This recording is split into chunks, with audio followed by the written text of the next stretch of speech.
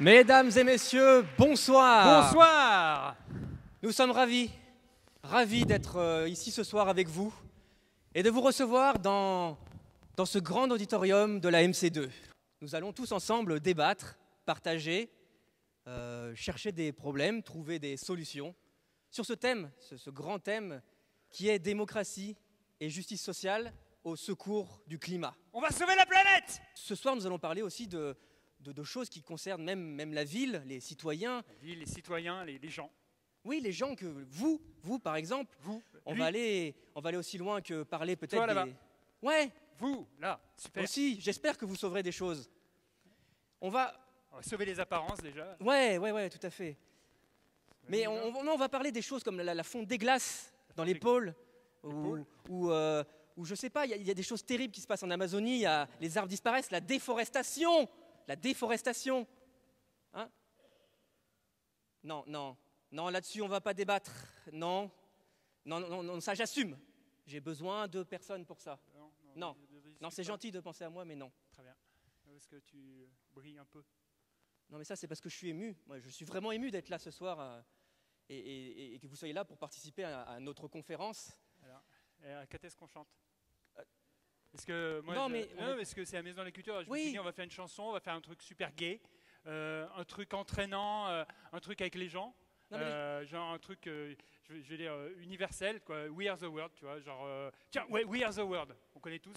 Non, mais on est. Euh, we are the world, allez hop, on lève les bras et tout. Here comes the time Bon, when we hear a certain call. Allez, Ouais, euh, we are the world, We allez, battez les bras. Battez les bras Oui, si vous êtes contre le réchauffement climatique, battez les We bras are the world. Et nous, on est en plein réchauffement climatique, c'est rien Ouais. les bras, mais eux, ils sont tranquilles. Allez-y.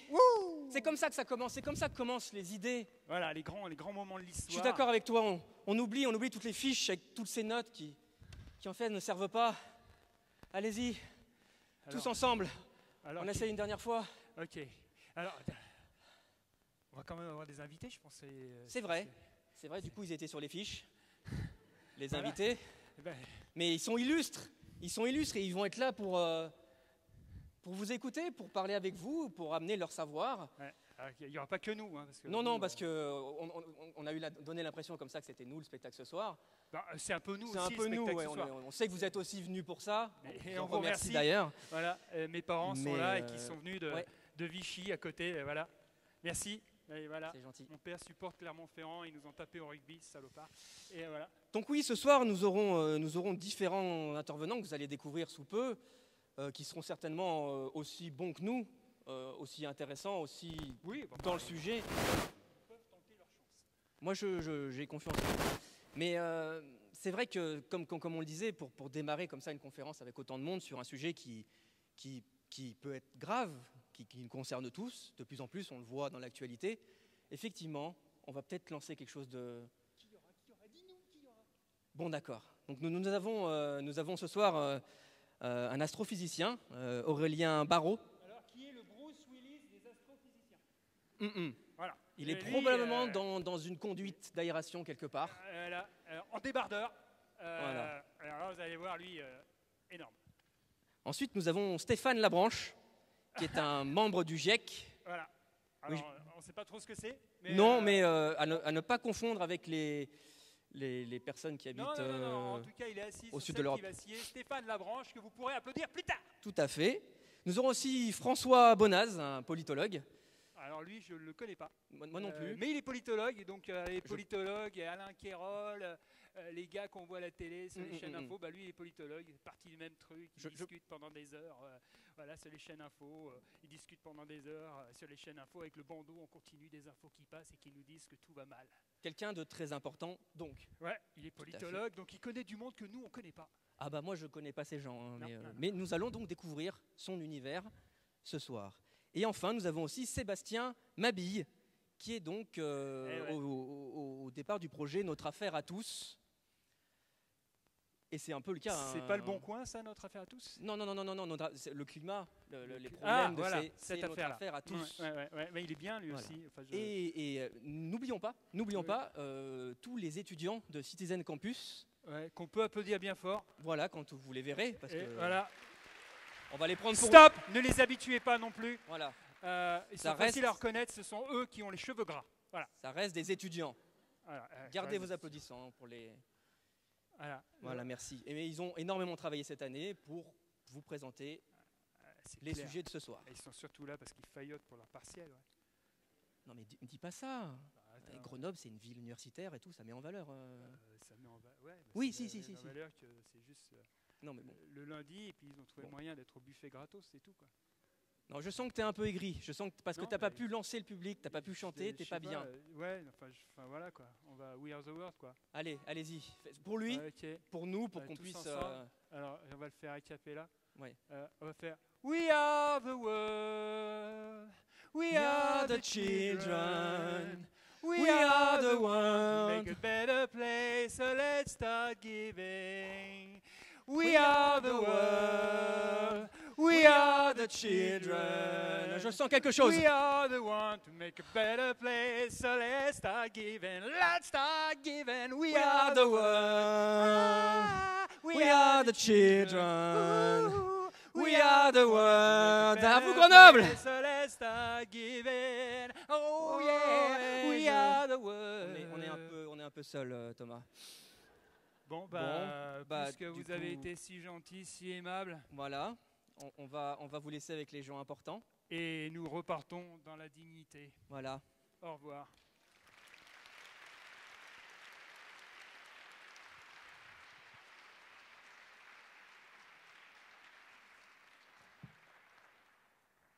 Donc bienvenue euh, dans notre euh, débat ce soir. Merci d'être euh, nombreux. Euh, c'est, euh, ce débat se déroule dans le cadre des rencontres nationales de la participation qui se déroulent à Grenoble pendant trois jours. Donc aujourd'hui, demain et après-demain, trois jours de débat, de discussion, de réflexion sur les questions de participation citoyenne. Donc il y a des gens qui viennent de toute la France, d'autres pays aussi euh, d'Europe. Je crois qu'il y a des gens qui viennent du Canada aussi, euh, voilà, peut-être aussi, je crois, d'Amérique latine. Euh, et puis euh, ce soir, euh, du coup, c'est une soirée ouverte aux personnes qui se sont inscrites dans le cadre des rencontres nationales de la participation et aussi au grand public grenoblois. Donc merci d'être présent. Donc la question qu'on souhaitait poser, se poser ensemble ce soir, la démocratie et la justice sociale au secours du climat, avec un point d'interrogation effectivement, parce que nous avons tous beaucoup d'interrogations sur le lien entre ces trois sujets, la question de la démocratie, la question de la justice sociale, la question du climat, comment on s'en sort, c'est quand même la question sociétale aujourd'hui. Euh, on le voit tous, on l'entend tous, on le vit tous. Donc on a vraiment tous envie de partager cette question-là. Et c'est de cette façon-là qu'on a envie de travailler le débat ce soir. L'idée qu'on a, c'est que les gens, les intervenants qui vont euh, tout à l'heure euh, monter sur scène, qui sont effectivement des experts, mais ce sont des experts qui, eux aussi, ont des interrogations, ont des questions. Euh, ils n'ont pas forcément les réponses, et vous, vous auriez les questions. Donc euh, l'idée, on va organiser le débat sous forme d'interrogations qui rebondissent sur des interrogations. Et l'idée, c'est d'enrichir nos propres réflexions aux uns et aux autres. Et notamment, on va utiliser un outil qui s'appelle Klaxoon. Je crois que vous avez eu un, un petit flyer en rentrant dans la salle qui vous explique comment ça fonctionne. Je vous réexpliquerai tout à l'heure quand on ouvrira cette, cette session-là. Donc, euh, nous, euh, le débat donc, va être interactif et vivant. On va passer à peu près euh, deux heures euh, et quart euh, ensemble. Euh, donc, les questions que vous allez, les interpellations, les idées que vous allez poser via Klaxoon, Nadia et Maxime sont ici. Ils vont les traiter en direct et on verra comment on peut, on pourra euh, euh, organiser ces idées qui émergent de, de- la salle pour les poser aux intervenants. Donc on aura les interventions des, des, euh, participants, les étudiants de Citizen Campus et les dessins en direct de Barbara Bélier qui ici, que vous voyez, qui dessine en direct du coup, euh, qui a déjà commencé euh, cet après-midi dans les visites et lors du forum des initiatives citoyennes pour la transition et qui continue ce soir à nous accompagner et on pourra voir ces dessins. Alors, juste quelques petits éléments avant de, commencer le débat sur le fond. Euh, quelques règles pour pouvoir euh, vraiment échanger ensemble, pour que ce débat soit, riche et porteur d'idées. Euh, je, demande à tout le monde et aux intervenants compris de respecter le temps imparti. Donc ça va être un temps assez rythmé. Il va falloir qu'on respecte les uns et les autres le temps donné. Et puis respecter aussi la parole de chacun, la parole soit par l'écrit, euh, qui va euh, être euh, que vous pourrez envoyer via votre smartphone, soit la parole orale. voilà. Donc en deux mots, bienveillance et respect pour pouvoir mener à bien ce débat. Je tiens juste, euh, je tiens à vous présenter du coup un peu rapidement quand même les, intervenants. Euh, Noé et Thomas vous les ont déjà, présentés, mais je vais vous les présenter de façon un peu plus euh, importante et vous dire pourquoi, pourquoi on les a invités ce soir. Alors nous avons tout, tout d'abord euh, Sébastien Madby. Ils monteront sur scène euh, tout à l'heure, euh, puisqu'on aura avant d'autres séquences. Donc Sébastien Madby, qui est avocat, enseignant à Sciences Po à Paris, et il est membre donc de l'association Notre Affaire à tous qui a lancé aux côtés d'autres associations, donc Greenpeace, la Fondation Nicolas Hulot pour la nature et l'homme, et Oxfam, L'affaire du siècle. Donc l'affaire du siècle, vous en avez tous entendu parler. Vous avez été un certain nombre, très certainement, à signer euh, cette pétition, puisqu'elle a cette campagne de signature a aujourd'hui euh, euh, eu plus de 2 millions de signatures pour attaquer l'État français en justice pour qu'il respecte ses engagements climatiques. Donc le vendredi 15 février, l'État a indiqué par une lettre qu'il n'était pas responsable de son point de vue des carences dont il était accusé. Le 14 mars, le collectif déposera, donc on voit, le collectif est en plein dans l'actualité, déposera son recours devant le tribunal. Et le 16 mars, ce collectif appelle aussi à une marche pour le climat. Donc Sébastien Mabi est engagé dans ces affaires en cours qui lient euh, justice et climat et aussi notamment, il pourra éventuellement nous en parler, sur une autre affaire euh, contre Total. Et je le remercie vivement, vraiment, d'avoir euh, remplacé Marie Pochon au pied levé, qui devait venir, qui n'a pas pu venir au dernier moment, parce que justement, l'affaire du siècle est, sur une actualité très très forte. Voilà. Alors pour résumer, on pourrait dire que Sébastien Mabille, pour Sébastien Mabille, la mobilisation et la justice pourraient venir au secours du climat. François Bonaz, notre deuxième intervenant, donc François euh, Bonaz, après un, master en histoire des théories économiques et sociales à l'université euh, Lumière euh, Lyon 2 et un mémoire de recherche sur la démocratie occidentale et le capitalisme, François est actuellement en thèse en sciences politiques à l'université de, de Grenoble-Alpes sous la direction d'Alain Faure. Son travail de recherche vise à comprendre les mécanismes du contre-pouvoir en démocratie directe en étudiant plus particulièrement l'initiative populaire en Suisse. Donc c'est un spécialiste des questions de démocratie directe, on pourra en parler. Il souhaite mettre en perspective les différentes dynamiques du pouvoir à travers l'outil et les usages de l'initiative populaire. Et donc on est bien en plein dans l'actualité. En résumé, on pourrait dire pour François Bonaz que la démocratie directe peut-elle, va-t-elle sauver le climat? Notre troisième intervenant, Stéphane Labranche, est chercheur indépendant, membre du GIEC, sociologue, spécialiste du climat. Il est associé au laboratoire Pacte et à l'Institut d'études politiques de Grenoble. Il est titulaire de la chaire énergie-climat à l'IEP de Grenoble et il est surtout québécois. Nous l'avons invité parce qu'il est spécialiste des questions de changement de comportement en matière énergétique et environnementale. Il pointe plus particulièrement les questions du sensible, du ressenti, de l'émotion et non pas de la raison dans nos changements de comportement. Car après des années d'information, de conscientisation, comme il dit, cela ne marche toujours pas. Donc en résumé, on pourrait dire pour Stéphane Labranche, pour lui, l'homme n'est pas un animal doué de raison. Ça se saurait. Et puis, je propose à Aurélien Barraud, notre premier intervenant, de monter sur scène. Merci Aurélien Barraud de, de venir nous rejoindre.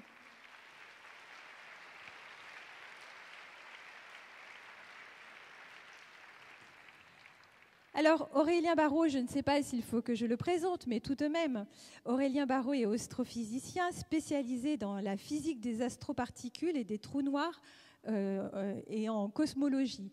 Je ne comprends absolument rien de ce que je raconte, mais bon, voilà. Il travaille au laboratoire de physique subatomique et de cosmologie de Grenoble. Il est également professeur à l'université. Il est responsable du master de physique subatomique et de cosmologie de Grenoble. Quand il n'étudie pas les trous noirs, Aurélien Barraud conseille des réalisateurs de science-fiction. Il a été compagnon euh, cosmique, compagnon de route de Claire Denis pour son film High Life, compose des poèmes, s'engage en faveur de l'environnement. C'est pour cela que nous avons invité Aurélien Barraud. Il a notamment lancé avec l'actrice Juliette Binoche un appel intitulé Le plus grand défi de l'histoire de l'humanité, signé par plus de 200 personnalités dans le monde le 3 septembre 2018 à la suite de l'émission de Nicolas Hulot de son poste de ministre de la Transition écologique le 29 août 2018. Euh, et du coup, euh, Aurélien Barraud appelle le gouvernement à une action ferme et immédiate face aux dangers du réchauffement climatique. L'impact de cette euh, tribune était sans précédent sur un sujet concernant l'environnement. En deux jours, l'appel avait été partagé par 173 000 utilisateurs Facebook. En résumé, pour Aurélien Barraud, on pourrait dire, ou lui-même le dit, je crois que vous le dites, d'abord on sauve le monde, ensuite on voit. Donc on propose à, à Aurélien Barraud une petite formule d'interpellation pendant 7 minutes euh, pour pouvoir poser les enjeux de son point de vue. Bonsoir, merci beaucoup de votre euh, invitation. Je crois que le monde est mort. Mundus, en latin, comme cosmos, en grec, contient l'idée d'harmonie, de convenance raisonnable, de sens découvert ou inventé. Suivant cette acception, nous avons déjà tué le monde.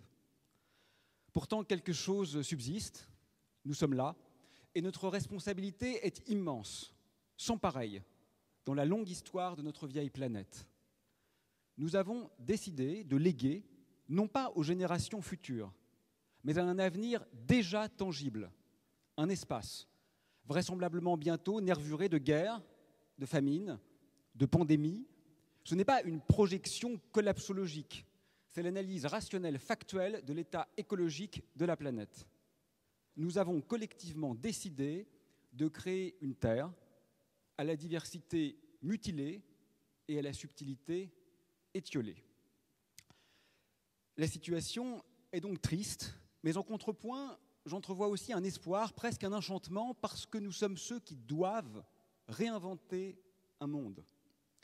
Autrement dit, nous devons tout réécrire possiblement pour le meilleur.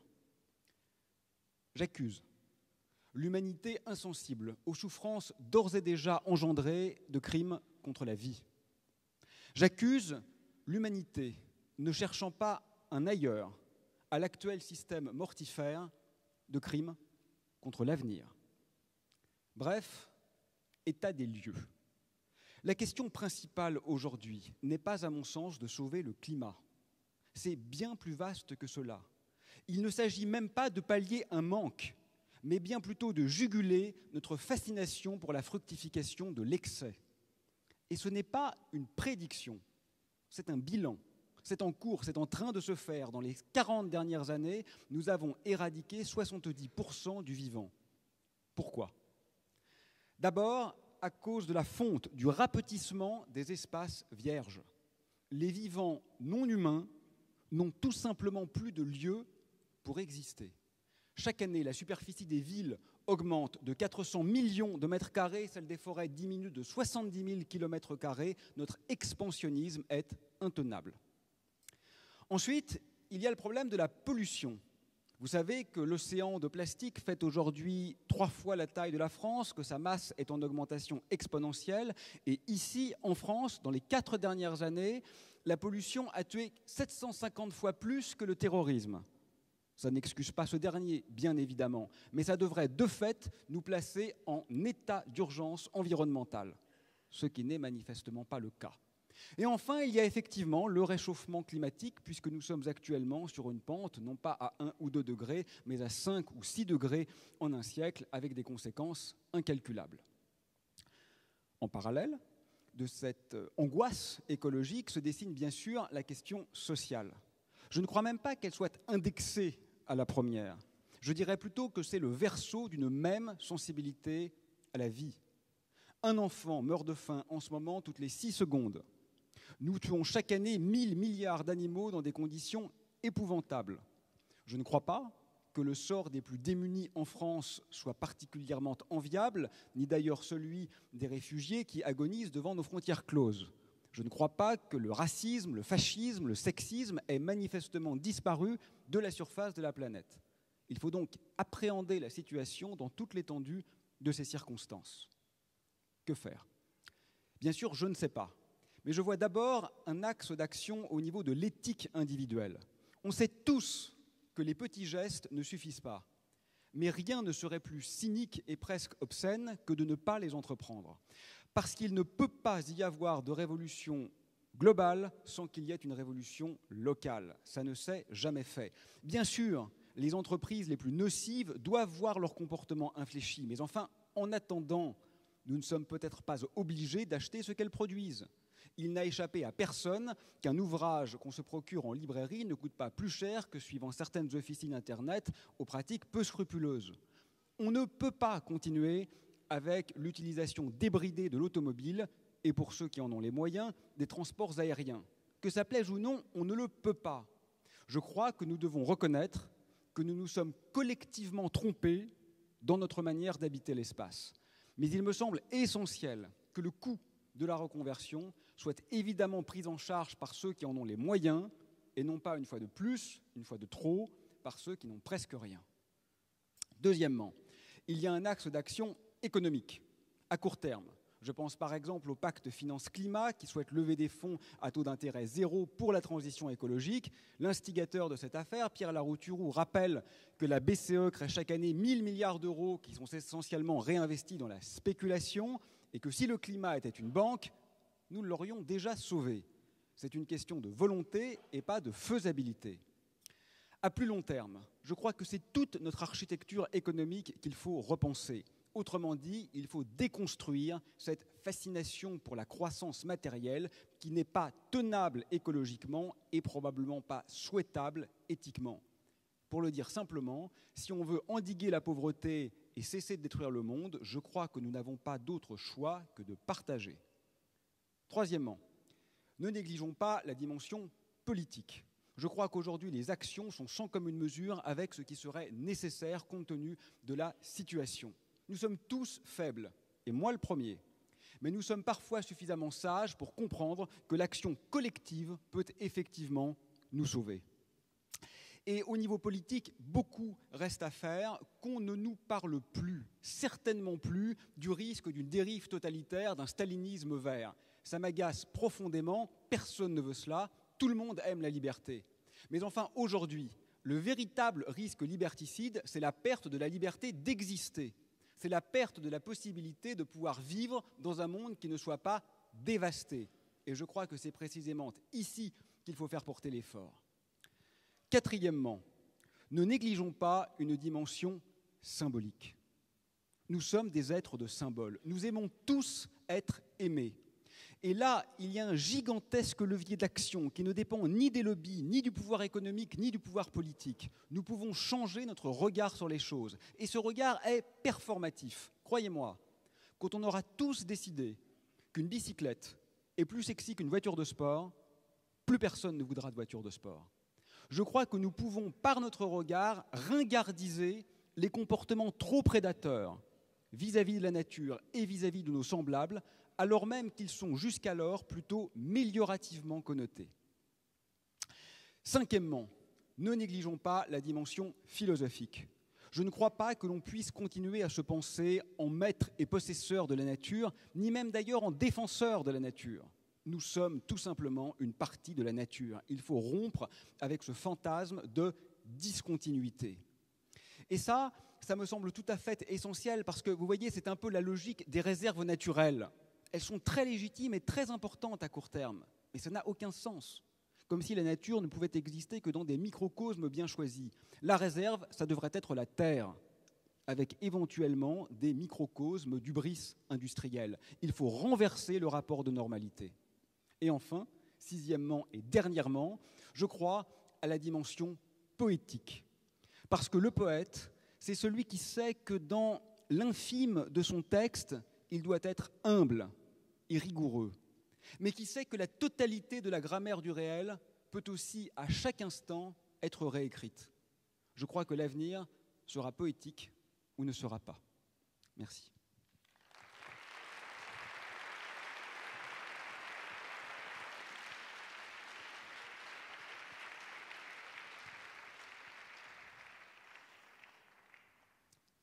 C'est très difficile de reprendre le micro après Aurélien Barrault.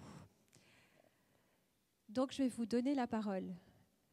Euh, on va ouvrir le temps klaxoon. Euh, donc c'est juste un petit mot euh, qui vous permet d'aller sur, l'application pour pouvoir envoyer des post-it. Donc ce qu'on vous propose pendant 20 minutes, pendant ces 20 minutes, c'est vous qui allez en fait construire les axes du débat qui vont être ensuite débattus, enfin ré, réinterrogés par nos intervenants par la suite. Alors comment on va le faire? Vous allez vous réunir par 4, 5, 6. Donc la salle n'est pas idéale pour pouvoir se réunir, mais vous vous retournez avec euh, vos voisins, vous vous mettez par petits groupes. Et l'idée, c'est, ben voilà, vous avez, vous avez le code, ça y est, vous avez le code. Une fois que vous vous êtes mis d'accord, donc l'idée c'est de se mettre d'accord collectivement à 4, 5, 6. Une fois que vous vous êtes mis d'accord collectivement sur une idée, une interpellation, une proposition, une, question, etc., vous l'envoyez. L'idée, ce serait d'en envoyer deux par groupe. Parce qu'autrement, on va être submergé, on ne va pas arriver à les lire, on ne va pas arriver à les trier, on ne va pas vous, pouvoir euh, travailler sur euh, ce que vous allez envoyer. Donc voilà, vous avez un petit moment pour euh, vous mettre par groupe. Vous pouvez vous lever, vous pouvez vous retourner, vous pouvez, allez-y, faire du bruit, discuter, etc. Euh, euh, voilà. donc voilà, on, a, on ouvre le temps. Les 20 minutes sont, ouvertes. Et on va voir en direct les, les post-it numériques que vous allez envoyer. Vous allez pouvoir voter sur les post-it aussi. L'idée, c'est de, voter sur celles de vos voisins et des autres groupes et non pas sur les vôtres. OK? Si vous avez des problèmes, il y a des personnes qui circulent dans la salle de la métropole de Grenoble et de la ville de Grenoble qui peuvent vous aider, qui peuvent vous donner des petits papiers si vous ne voulez pas utiliser ou si vous ne pouvez pas utiliser vos smartphones et qui peuvent eux-mêmes envoyer sur leur propre équipement. OK? À tout de suite. Merci. Donc, euh, vous voyez, ils sont à peu près une vingtaine. Là, je ne sais pas, ils sont peut-être une quinzaine sur scène, mais en tout, ils sont, ils sont une vingtaine. Donc Isabelle, merci de, votre présence, merci de votre présence à tous et puis merci de votre présence euh, Isabelle. Est-ce que vous pouvez nous expliquer cette expérimentation, cette innovation euh, grenobloise euh, de l'université grenobloise, puisque je crois que ça n'existe pour l'instant nulle part ailleurs. Donc effectivement, c'est une expérimentation et une innovation grenobloise. Donc qu'est-ce que Citizen Campus? Merci Sylvie. Eh bien, il y a quelques minutes, vous avez partagé vos avis, vos interrogations sur le thème et vous avez construit ensemble des questions. C'est en partie ce que vivent les étudiants de la première promotion euh, Citizen Campus. Citizen Campus est une formation complémentaire, en plus donc de leur cursus euh, principal, ouverte à tous les étudiants de Grenoble, de Bac plus 2 à doctorat, donc euh, tous les niveaux d'études, et également toutes les filières. Pourquoi Citizen Campus? Parce qu'aujourd'hui, notre société se transforme en accéléré et que la science et la technologie sont au cœur de ces transformations et qu'il est légitime que les citoyens puissent en être vraiment acteurs. Que l'on soit citoyen, dirigeant ou élu, on aimerait en effet prendre les bonnes décisions. Et pour prendre les bonnes décisions, il faut savoir poser les bonnes questions. Et vous avez vu comme c'est difficile. Donc l'ambition de Citizen Campus, c'est ça, permettre à ces étudiants volontaires d'expérimenter dès leur formation cette complexité par la pratique. Donc questionner, débattre et décider. Ce ne sont pas des cours, ils ne sont pas en amphi, ce ne sont pas des tables rondes non plus. Les étudiants alternent des séquences de travail, de débat, de questionnement avec des scientifiques, des dirigeants euh, d'entreprises, des élus politiques, des associations de citoyens et des journalistes sur ces sujets euh, complexes. Nous n'en faisons pas des experts ni des spectateurs avertis, mais des citoyens déjà expérimentés. Citizen Campus, pour l'université et pour ses partenaires, c'est vraiment un pari, un pari sur l'avenir. Et c'est effectivement unique à Grenoble et original. Alors pourquoi nous sommes là ce soir? Eh bien, dans Citizen Campus, nous voulions contribuer à un événement local public. Merci de l'invitation. Et donc, les étudiants de la promotion ont réfléchi à ce que leur évoquait le thème de ce soir, quel écho avec ce qu'ils ont vécu euh, au fur et à mesure de Citizen Campus, dans lequel ils sont euh, impliqués et ils explorent depuis euh, septembre.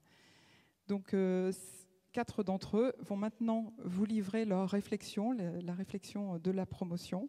Merci d'être bienveillants et d'être à l'écoute de ce qu'ils ont envie de partager avec vous pour alimenter les questions de ce soir. Merci, oui, vous pouvez les encourager. Merci. En réponse au changement climatique, de nombreuses initiatives citoyennes voient le jour afin d'intégrer l'opinion des citoyens au processus de prise de décision publique. En effet, leur objectif principal est que si les citoyens sont plus intégrés à la démocratie, alors cela permettrait de garantir, ou du moins de tendre vers une transition écologique plus juste et mieux comprise et acceptée par l'ensemble des citoyens, et ce, quel que soit leur degré d'intérêt par rapport à la question. On peut citer le nouveau plan Air, Énergie, Climat qui est actuellement mis en place par la métro métropole Grenoble-Alpes et qui permet aux citoyens de l'agglomération grenobloise de s'exprimer à ce sujet.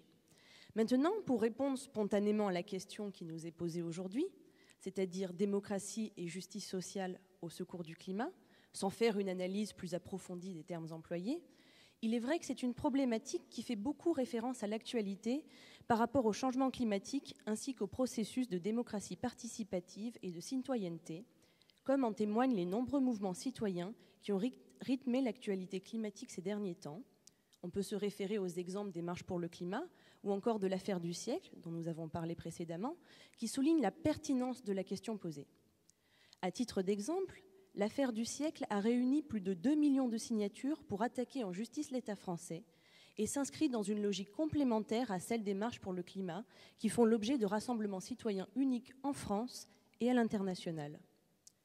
Toutefois, peut-on réellement affirmer que ces initiatives citoyennes contribuent à la justice sociale et que la démocratie est le terme le plus approprié pour traiter un très grand nombre de personnes et qui sont souvent actuelles. La question démocratie et justice sociale au secours du climat nous interpelle, mais mérite d'être reformulée ou du moins axée différemment afin d'éviter une analyse trop réductrice de la problématique posée et ainsi proposer plusieurs champs d'études possibles. Qu'entend-on exactement par démocratie et justice sociale? Quel sens peuvent prendre ces notions? Avec notre expérience Citizen Campus, nous avons compris l'importance de définir les termes du débat et d'explorer le plus largement possible les questions, car souvent il s'avère que les sens, les interprétations données à différentes notions et problématiques divergent d'une personne à l'autre, à tel point qu'il faut parfois un long moment avant de se rendre compte qu'on ne parle pas vraiment de la même chose. Alors nous avons interrogé la question pour dégager les nouvelles questions qu'elle nous évoque et d'ouvrir quelques pistes au débat. D'une part, démocratie. Ce terme fait généralement référence à un régime politique dans lequel les citoyens sont eux-mêmes dépositaires du pouvoir. Ce que décrivait Lincoln comme le gouvernement du peuple, par le peuple, pour le peuple. Et puisqu'en France, nous nous réclamons d'une démocratie, il paraît assez étonnant d'appeler à l'aide notre propre modèle politique, comme cela est posé dans le sujet de cette soirée. Est-ce là un aveu d'échec? Cela suppose-t-il que nous ne vivons pas dans un système véritablement démocratique? En fait, d'après ce que nous a dit Yannick Blanc, au commissaire à l'engagement civique, il paraît que le peuple n'a jamais été composé entièrement de citoyens. Parce que tout le monde ne pouvait, tout le monde ne peut pas être citoyen, il faut bien un moment décider de qui ne l'est pas et n'a pas les droits qui vont avec. Pour reprendre ces mots, l'histoire de la citoyenneté est une histoire d'exclusion. Invoquer un renouveau démocratique comme nous le faisons, revient-il à admettre que nous évoluons toujours dans un paradigme de l'exclusion? Dans ce cas-là, qui est exclu du pouvoir aujourd'hui? Est-ce que ce sont les citoyens? Est-ce le système démocratique lui-même? Ou simplement les sujets trop sensibles, trop compromettants politiquement ou trop conflictuels qui sortent alors du champ des décisions D'autre part, la question comporte le concept de justice sociale, qui en première approximation renvoie à une construction morale et politique aspirant à l'équité et l'égalité des individus dans une société. La juxtaposition des termes, justice sociale et démocratie, signifie-t-elle que ces deux valeurs sont considérées comme dépendantes et indissociables, ou l'inverse, ou pas? S'il y en a une, où se situe la priorité entre justice sociale, démocratie et climat Ces questions sont d'autant plus importantes vis-à-vis du changement climatique et des transformations environnementales, et des réponses que nous pouvons apporter collectivement, car la difficulté à transformer le réel à partir d'idéaux environnementaux est vraiment évidente, en bonne partie à cause des nombreux conflits d'intérêts et de priorités auxquels ils se confrontent. La difficulté, par exemple, à mettre en place une taxe carbone est un exemple qui illustre bien cette problématique. Un autre point important qui nous interpelle à la, à la lecture de ce sujet, c'est la question d'échelle, de contexte. Ce sont des rencontres nationales qui, d'après ce que nous avons compris, ambitionnent de promouvoir la démocratie locale. Pourtant, le changement climatique, la transformation environnementale est un phénomène mondial et l'environnement a bien que nous partageons avec le reste du monde. Le réchauffement ne connaît pas le concept de frontières qui sans doute nous paraîtra de plus en plus dérisoire face à l'irréversibilité des transformations environnementales et de ses conséquences pour la nature et donc entre autres l'humain ici et ailleurs. Alors, quel cadre donnons-nous à démocratie? Quel cadre donnons-nous à justice sociale? Quel cadre devrions-nous donner à, démocratie, à justice? Dans un monde aussi interconnecté qu'il l'est aujourd'hui, où le mode de vie des uns peut, gravement nuire à la survie des autres, à l'autre bout de la planète, considérer les valeurs de démocratie et de justice au niveau local ou même encore au niveau national a-t-il encore du sens? Dans ce contexte, la démocratie locale est-elle une façon de contenter le citoyen? Est-ce un lot de consolation face aux vrais enjeux de la transition écologique qui se jouerait à d'autres échelles? N'est-ce pas dérisoire par rapport à l'ampleur du phénomène? Espérons le contraire. Tout ça fait bien tourner les ménages. Il y a des grandes questions et de grands thèmes. Remettre la question dans le contexte actuel nous aidera peut-être à y voir plus clair. Pourquoi sommes-nous là? On est là ce soir pour ouvrir les troisièmes rencontres nationales de la participation. Ok. Et cette rencontre, elle parle de quoi? De renouveau de la démocratie locale hmm. La réponse est peut-être là-dedans. Sans doute nous faut-il interroger ces nouvelles pratiques euh, démocratiques que l'on nomme délibératives, participatives ou locales, et explorer la manière selon laquelle leur instauration permettrait de promouvoir la justice sociale. C'est chouette. Parce que dans la question posée, ça entend que cela nous permettra de lutter contre le changement climatique et de, sauver des chatons. Bon, très bien. Regardons alors ce renouveau démocratique de plus près. D'abord, de quelle pratique parlons-nous exactement? De référendum, de jury citoyen, de débat Twitter. Tout ça, ce sont des manières de participer, mais qu'y a-t-il derrière ces formes de participation? Derrière ces formes de participation, il y a des niveaux de participation. Il y en a plusieurs. Aujourd'hui, le site web viepublic.fr site officiel de la République française, des, présente 11 euh, différents moyens de faire participer le citoyen. Alors, à quelle forme de participation ces présentes journées font-elles référence? Une exploration plus détaillée des informations prodiguées sur le site web des rencontres s'avère à la fois très informative et assez préoccupante. La page d'accueil, qui liste les raisons pour lesquelles une personne devrait venir assister, semble assimiler le renouveau de la participation démocratique à la pratique de la concertation. Mais la concertation, c'est quoi? Là encore, merci viepublic.fr, une attitude globale de demande d'avis sur un projet par la consultation de personnes intéressées par une décision avant qu'elle ne soit prise. L'autorité reste libre de sa décision. Faire de la démocratie participative est donc simple. Tout le monde peut le faire. Primo, on va voir les personnes concernées. Secondo, on leur demande leur opinion, leur avis, leurs idées. Et troisièmement, bah, on continue de faire ce qu'on faisait avant. D'après les réflexions de notre groupe, il s'agit donc de demander au peuple ce qu'il en pense, sans qu'il ne soit aucunement question de le prendre en compte, tant, qu'on le fait avant que la décision ne soit prise. Ceci préoccupe certains d'entre nous. Entendre et être entendu, c'est certes un bon début pour participer au débat, mais venir s'asseoir, c'est écouter au fond de la salle, est-ce que ça suffit? Si ce que vous avez à dire n'a aucune influence sur la décision finale, avez-vous un pouvoir? Avons-nous un pouvoir? Bref. Deuxièmement, nous sommes aussi préoccupés par le flou qui entoure participation, concertation, consultation, ainsi que leur emploi. Cela ne change-t-il vraiment rien d'utiliser un mot à la place d'un autre? Ce qui est sûr, c'est que nous ne sommes pas les premiers à le remarquer. Voici un article sur le sujet fournissant déjà une définition claire de chacune de ces pratiques et de leurs objectifs. Il date de 2006. Je vais vous le lire, je vous le laisser lire euh, rapidement. Je vous donne 5 secondes. Ouais, j'avance. Bon, alors, comment se fait-il alors que 13 ans plus tard, ces termes soient encore toujours aussi flous?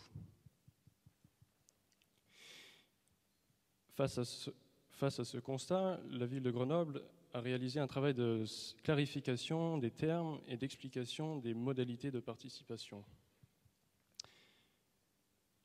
Cependant, ces termes ne sont pas définis sur le site des rencontres nationales de la participation. Pourquoi? Trois explications sont envisageables. Premièrement, les organisateurs ne le savaient pas. Mais s'il y a une chose que nous avons bien réalisée au travers de notre parcours, c'est le haut niveau d'expertise des personnes aux manettes de tels événements, incompatibles avec une telle erreur. Ce qui nous laisse donc deux options.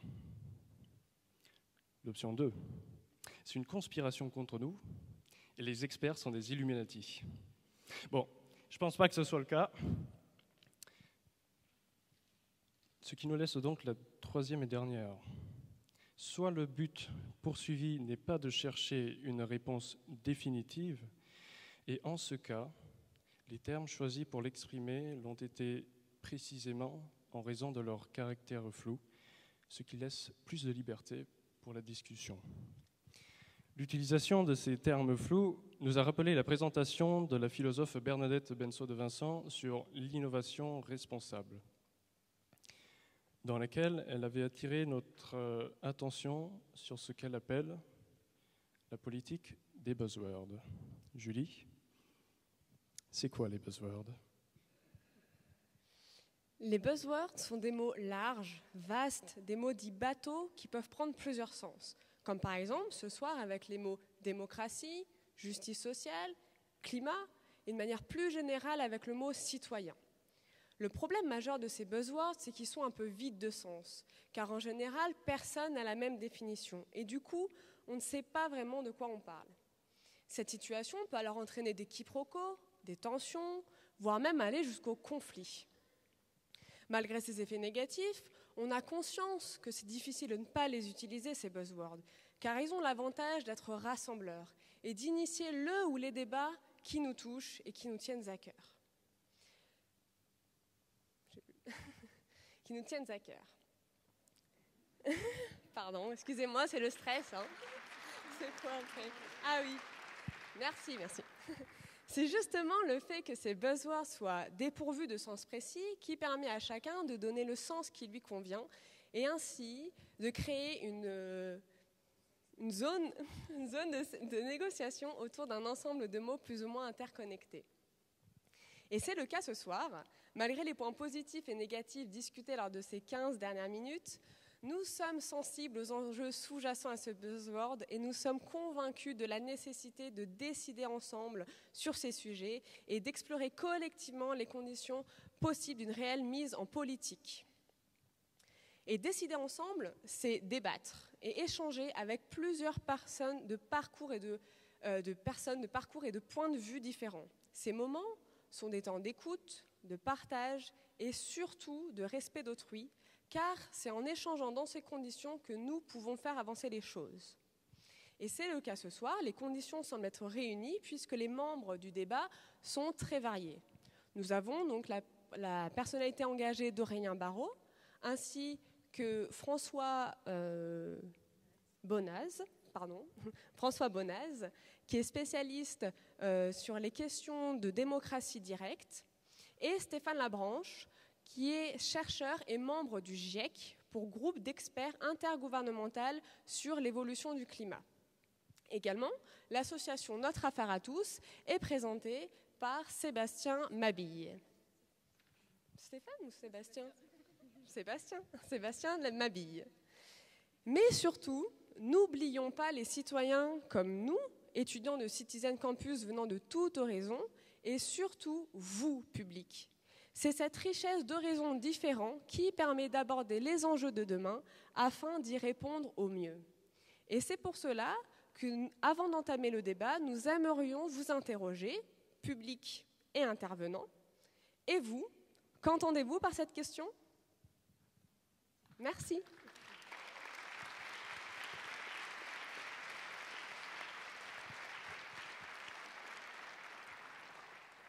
Merci beaucoup. Je vous propose de rejoindre vos sièges. Merci.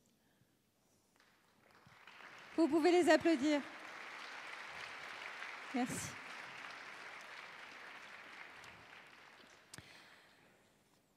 Je propose à Stéphane Labranche, Aurélien Barrault, François Bonaz et Sébastien Mabille de venir nous rejoindre.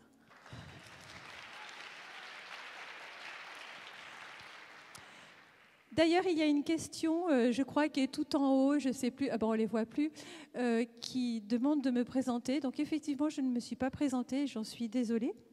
Donc je suis Sylvie Barnezet, je travaille à Grenoble-Alpes Métropole et je m'occupe des questions de démocratie participative. Voilà. Alors, du coup, on va revenir sur, euh, sur nos post-it. Il faut qu'on revienne, nous, sur nos post-it pour, pour voir toutes... alors voilà, c'est absolument énorme. Euh, combien on a eu de, post-it? Je vais donner la parole à, Nadia qui va nous faire tenter de nous faire un, résumé de tout ce que, tout ce que vous avez proposé. Et on va essayer d'en sortir un premier bloc euh, qu'on va donner en pâture à nos intervenants. Voilà, donc euh, Nadia. Merci, bonsoir. Je travaille avec euh, Barnezet euh, au sein du service participation de la métropole. Euh, donc on a reçu 185 euh, post-it avec certains qui se recoupent et d'autres qui sont sur des thématiques très variées. On a essayé de faire l'exercice de les regrouper par thématique. Il y a trois grands blocs qu'on a essayé de dégager pour rythmer les trois temps à venir du débat un premier bloc qui s'articule autour des questions d'intérêt individuel versus intérêt collectif, avec en question de fond euh, la question de l'équité sociale et de co comment les, euh, les, personnes les plus sensibles, les, euh, les personnes qui ont le moins de moyens peuvent être intégrées dans la réflexion sur la, la, transition écologique. Et puis, sous-jacente, la question du pouvoir d'agir. C'est-à-dire, est-ce que individuellement on a du pouvoir d'agir? Comment on passe de la peur du changement à euh, celle de euh, comment on la transforme en pouvoir d'agir. Et derrière, est-ce que euh, au niveau collectif, au niveau des collectivités locales notamment, il existe également un pouvoir d'agir face à un dérèglement qui se, qui se passe au niveau mondial? Et on a classé dans ce bloc également les questions autour de l'incitation à agir. Donc comment, comment on, crée, on, crée, le déclic? Est-ce que lancer l'alerte, être alarmiste, euh, c'est quelque chose qui est efficace Est-ce qu'il faut être dans l'incitation, l'incitation financière par exemple Ou est-ce que ça sert plus à rien euh, d'inciter à changer les comportements et il faut déjà être dans une démarche d'adaptation euh, puisqu'il serait déjà trop tard pour, pour agir voilà, ça c'est le premier bloc sur lequel on va proposer aux intervenants d'interagir. J'annonce peut-être les deux autres blocs pour pas que vous débordiez en termes de thématiques. Donc euh, le deuxième bloc, il tourne autour du modèle capitaliste et de la responsabilité notamment du secteur privé et des entreprises dans l'action qui peut être euh, conduite dans la transition, et puis autour de comment on change euh, nos modes de vie, nos modes de consommation euh, on a eu beaucoup de remarques sur les petites bouteilles en plastique qui sont euh, à notre table, mais c'est un très bon exemple. Est-ce qu'on a, euh, parfois, on ne se pose pas les bonnes questions, on a la flemme, je cite un post-it, d'agir et comment on se laisse prendre par ce monde de l'excès, de la consommation dont parlait Aurélien Barraud en, en, introduction. Le troisième bloc, il porte plus sur la question du modèle politique, c'est-à-dire de savoir si finalement on va vers une dictature euh, écologique ou si euh, on peut, il y a encore une place pour la démocratie et notamment la démocratie participative pour euh, répondre à cette, cette crise environnementale. Et puis, quelle est l'échelle qui permet de, répondre politiquement du micro local au global? Quelle est l'action qui peut être portée au niveau international et quelle est l'action qui peut être portée tous les jours au niveau très local?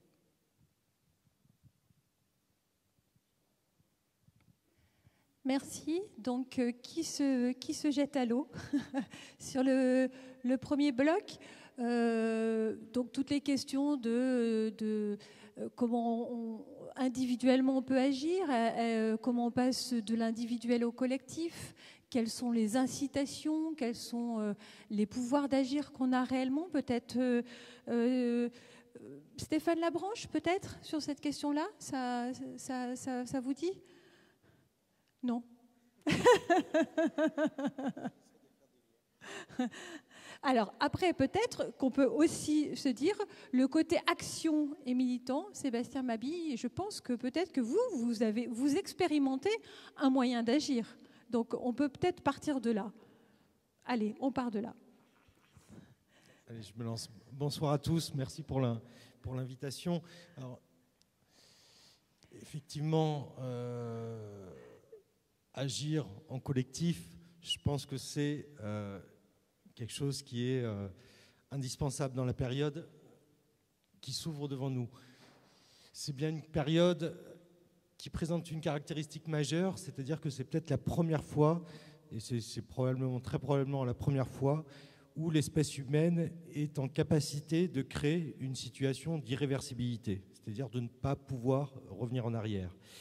Et agir collectif, c'est agir à tous les niveaux, à tous les processus de à tous les niveaux de, décision, c'est-à-dire au stade individuel, évidemment, on parle beaucoup des petits gestes, etc., mais tout ça, ça ne suffit pas, bien entendu, pas plus que les petits pas, et agir au niveau collectif, au sein de des, organismes de, représentation, c'est-à-dire agir, c'est d'abord voter, et voter pour les bonnes personnes. Quand je vois que dans, dans la classe politique, il y a à peu près les trois quarts de la classe politique pour qui le climat n'est pas encore une question, reste une question marginale ou n'est pas une question du tout, euh, c'est euh, totalement affligeant. Donc d'abord bien voter et puis ensuite se mobiliser. L'affaire du siècle, évidemment, on a, ces 2 millions de personnes qui, soutiennent et c'est quelque chose de, formidable. Mais la mobilisation, c'est la mobilisation partout, c'est aussi la mobilisation dans la rue. C'est aujourd'hui, il faut prendre conscience qu'on est passé dans un, une période d'urgence et euh, se mobiliser d'urgence partout, de toutes les manières possibles. Donc j'ai deux questions. Première question, est-ce que vous pensez que cette mobilisation peut faire changer les choses et à quelles conditions elle peut faire changer les choses? Et deuxième question, on l'a vu euh, dans les post-it, est-ce qu'il faut aller jusqu'à la désobéissance civile? Alors, est-ce que cette mobilisation peut faire changer les choses? Oui, parce que sinon, sinon on n'y croirait pas. Et euh, il faut garder l'espoir. Euh, est-ce qu'elle peut changer les choses? Il, faut, il faudrait qu'elle soit mondiale, parce que le problème, effectivement, c'est, et c'est toute la tragédie de la question climatique, c'est que euh, on ne va pas la régler ici à Grenoble, pas plus qu'on va la régler à Paris ou à New York. Il faut, qu'on la règle ensemble partout dans le monde et de manière solidaire. Et c'est aussi pour ça que c'est important, à chaque fois qu'on parle de d'écologie d'ajouter le terme solidarité. Et là, je, remercie Nicolas Hulot de l'avoir compris et d'avoir ajouté ce terme à la, à la dénomination de son ministère. La deuxième question, est-ce que ça peut aller jusqu'à la désobéissance civile? Alors c'est un peu délicat pour moi qui suis avocat, donc qui suis auxiliaire de justice, d'inciter euh, à la désobéissance, mais néanmoins on peut tout à fait comprendre les personnes qui franchissent ce cap et euh, voilà, sans toutefois, sans toutefois forcément l'encourager ou avoir des modalités de désobéissance euh, qui sont bien choisies et bien ciblées, c'est l'essentiel. mais oui, pourquoi pas, mais déjà en être obéir à soi-même et obéir à, ses convictions, ça permet déjà de, faire changer beaucoup de choses dans son comportement individuel et collectif autour de soi. Donc obéir aussi et d'abord à ses convictions. Merci. Alors peut-être un post-it là qui paraît assez intéressant. Comment libérer nos imaginaires pour changer le monde? Rêver pour rendre possible de nouvelles alternatives. Que je mettrais peut-être en, en face de, la question du discours alarmiste. C'est-à-dire qu'Aurélien Barraud, euh, vous, avez les deux, en fait. C'est-à-dire dans votre discours, il y a à la fois un discours alarmiste et en même temps, vous avez envie de réenchanter euh, le monde. Comment, comment on construit ça? Est-ce que c'est une, vraie piste? Oui, euh, en fait, c'est pas alarmiste. Moi, je crois que je suis très en dessous de la vérité sur certaines choses. Si on voyait les vraies images, si on avait une connaissance presque intuitive, corporelle, ressentie de l'état de dégradation de la planète, euh, ça serait pire. Je, pense que j'étais très en dessous de la vérité. Euh, quand on voit que certains doutent encore aujourd'hui en se disant mais ils se trompent peut-être dans leur projection, ils n'ont pas compris qu'on ne parle pas de prédiction, on parle de bilan. Quand on pense que l'essentiel des vertébrés en termes de nombre, c'est-à-dire de population, c'est-à-dire en fait ce qui est important, parce que vous savez, les animaux, ce ne sont pas que des espèces, ce sont aussi des individus, euh, ont déjà disparu, on ne se rend pas compte qu'on est en plein milieu de l'apocalypse. Donc je crois que euh, c'est pour ça que les mots alarmistes me semblent un peu inadaptés. Puis je voyais tout à l'heure un, un post-it où on parlait de la bien-pensance écologique. Qu'est-ce que vous voulez que je vous dise moi? Vous voudriez-vous que nous fassions preuve de malpensance? On va quand même pas s'excuser de bien penser. Enfin, c'est un comble. Euh, euh, comme si le fait de bien penser devenait une tare. Euh, non, c'est pas la question. Je veux dire, la question est pas. Vous savez, il n'y a plus rien aujourd'hui de subversif à prôner une sorte de jouissance nietzschéenne effrénée et immodérée de notre environnement. C'est exactement le contraire. Ça, c'est l'inertie de ce dont nous venons. Je crois que faire preuve d'un peu d'ascétisme tendanciel au niveau matériel, c'est précisément ça aujourd'hui qui est subversif, qui est exploratoire et qui, effectivement, comme vous le disiez, peut également être accompagné d'un réenchantement parce qu'on a un travail gigantesque à faire sur les estimateurs. Euh, vous savez, si on essaye d'estimer le nouveau monde avec les critères de l'ancien monde, il paraîtra forcément fade. Mais ça, c'est un peu la tare de l'humain qui essaye de tester l'intelligence d'un animal avec des critères d'humain. Bien sûr, il le trouvera débile, évidemment, mais ça ne prouve qu'une chose, c'est son incapacité à se mettre à la place de l'autre. Si aujourd'hui on évalue l'évolution, voire la révolution nécessaire avec les critères qui ont prévalu à cette période de croissance immodérée et mortifère, on aura l'impression d'aller vers un monde moins juste, moins bon, moins enchanté et moins enivrant. Mais c'est évidemment parce que nos critères sont biaisés. Donc le but aujourd'hui, je crois, c'est de comprendre qu'on peut effectivement être plus heureux, mais pas au sens comme ça d'une sorte de béatitude 68 euh, arde, euh, pseudo-hippie. Non, au sens véritablement d'une création intellectuelle intense, euh, effective et, absolument prégnante tout en réfrénant notre surproduction matérielle qui est intrinsèquement intenable. Je conclus juste sur un exemple. Je ne suis pas un immense utilisateur de réseaux sociaux. Euh, euh, hier, j'ai suggéré que peut-être le passage au réseau téléphonique 5G n'était pas indispensable, parce que quand même, hein, vous avez remarqué, on peut même regarder YouTube avec la 4G, donc euh, moi, il me semblait que on pourrait peut-être se dire collectivement que bah, ça suffit, ça suffit, c'est pas parce qu'on peut le faire qu'on doit le faire. Je n'ai jamais reçu un tel déluge d'invectives. J'ai été comparé à Staline, euh, enfin voilà, bah, parce que je supposais que peut-être on pourrait ne pas créer la 5G. Donc du coup, j'étais partisan de l'homme des cavernes, anti-science. Bon, je suis astrophysicien anti-science, c'est extraordinaire.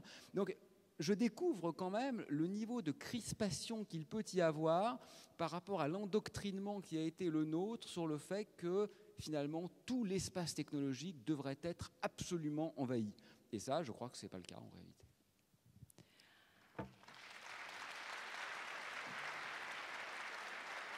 Pour revenir, pour revenir sur des questions de, pouvoir d'agir, sur comment concrètement, euh, comment chacun peut, peut, agir, à la fois individuellement, euh, collectivement, comment les collectivités au niveau laquelle peuvent agir. Stéphane Labranche, peut-être? Ah, Moi, je pense qu'il y a le, message de base, c'est que on a tendance à, voir les choses de manière très binaire. Hein. Soit la solution elle est bonne, elle est parfaite en plus, parce que sinon elle n'est pas bonne. Notamment quand une solution peut être environnementale. Là, dès qu'elle a une faute ou une petite faille, on se dit ben ça résout pas, ça résout pas tout le problème, donc on la rejette. Euh, donc ça, pour moi, c'est une première erreur, en fait. Chaque gain, là, le, deuxième, le dernier rapport du GIEC sur le plus 2 degrés était clair, c'est pas, il ne faut plus penser à 1 degré ou 2 degrés, c'est 1,1, 2, 3, 4. Ce qui veut dire que chaque petit geste compte plus qu'avant. C'est ça qui est important. Et ce qui veut dire aussi que individuellement, il faut arrêter de penser que ce que je fais n'a aucune importance.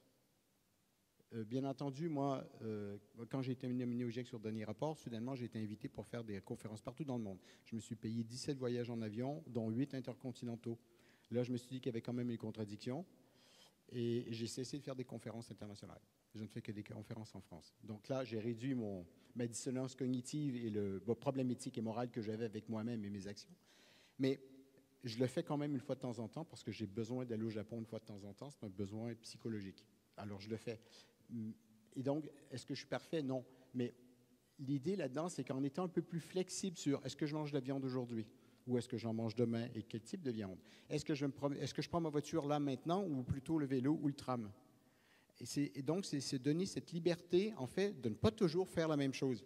Le problème avec ça, c'est que dans la réalité, pour une grande partie de la population, alors je vous dis, je suis sociologue et en fait, j'adore faire des enquêtes euh, à grande échelle et puis parler à des gens face à face. J'ai fait plus de 450 entretiens semi-directifs en face à face pour comprendre pourquoi les gens veulent changer ou pas.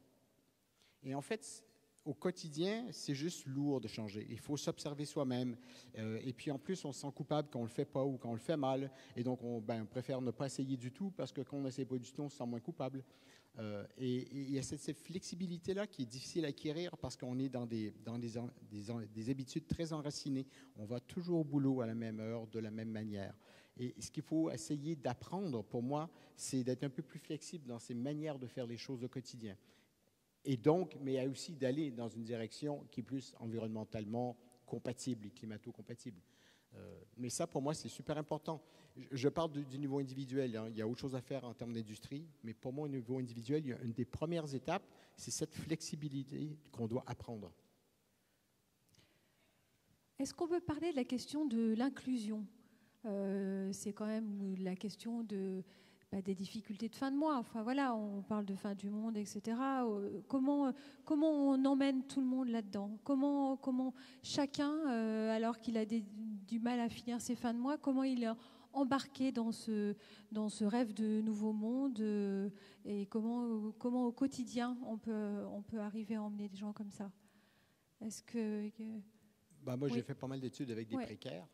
Et en fait, il y a un truc intéressant qui se passe avec les classes précaires, c'est que pour un certain nombre d'entre eux, alors pour la plupart des gens, on aborde le climat de façon euh, peu climatique en fait. Euh, si on fait euh, de la sobriété énergétique à domicile, c'est parce que ça nous amuse. si moi je me promène en vélo, par exemple, c'est pas parce que je ne le, fais pas pour le climat. Je le fais parce que je me promène en vélo, ça n'a rien à voir. Même si statistiquement, après, c'est très bien pour la ville de Grenoble. Mais je ne le fais pas pour ça. Et donc, il y a 150 000 bonnes raisons d'agir dans une certaine direction qui peuvent être compatibles avec le climat, sans en parler. Ça marche très bien. Donc, mais pour les précaires, j'ai remarqué que c'est un des groupes de la société où il y a le plus une double logique. À la fois, il ben, faut faire attention à ces fins de mois parce que c'est une pression réelle, mais il y a, ils, se, ils ont une signification écologique en plus dans les, certains comportements et certains changements de pratiques qu'ils font.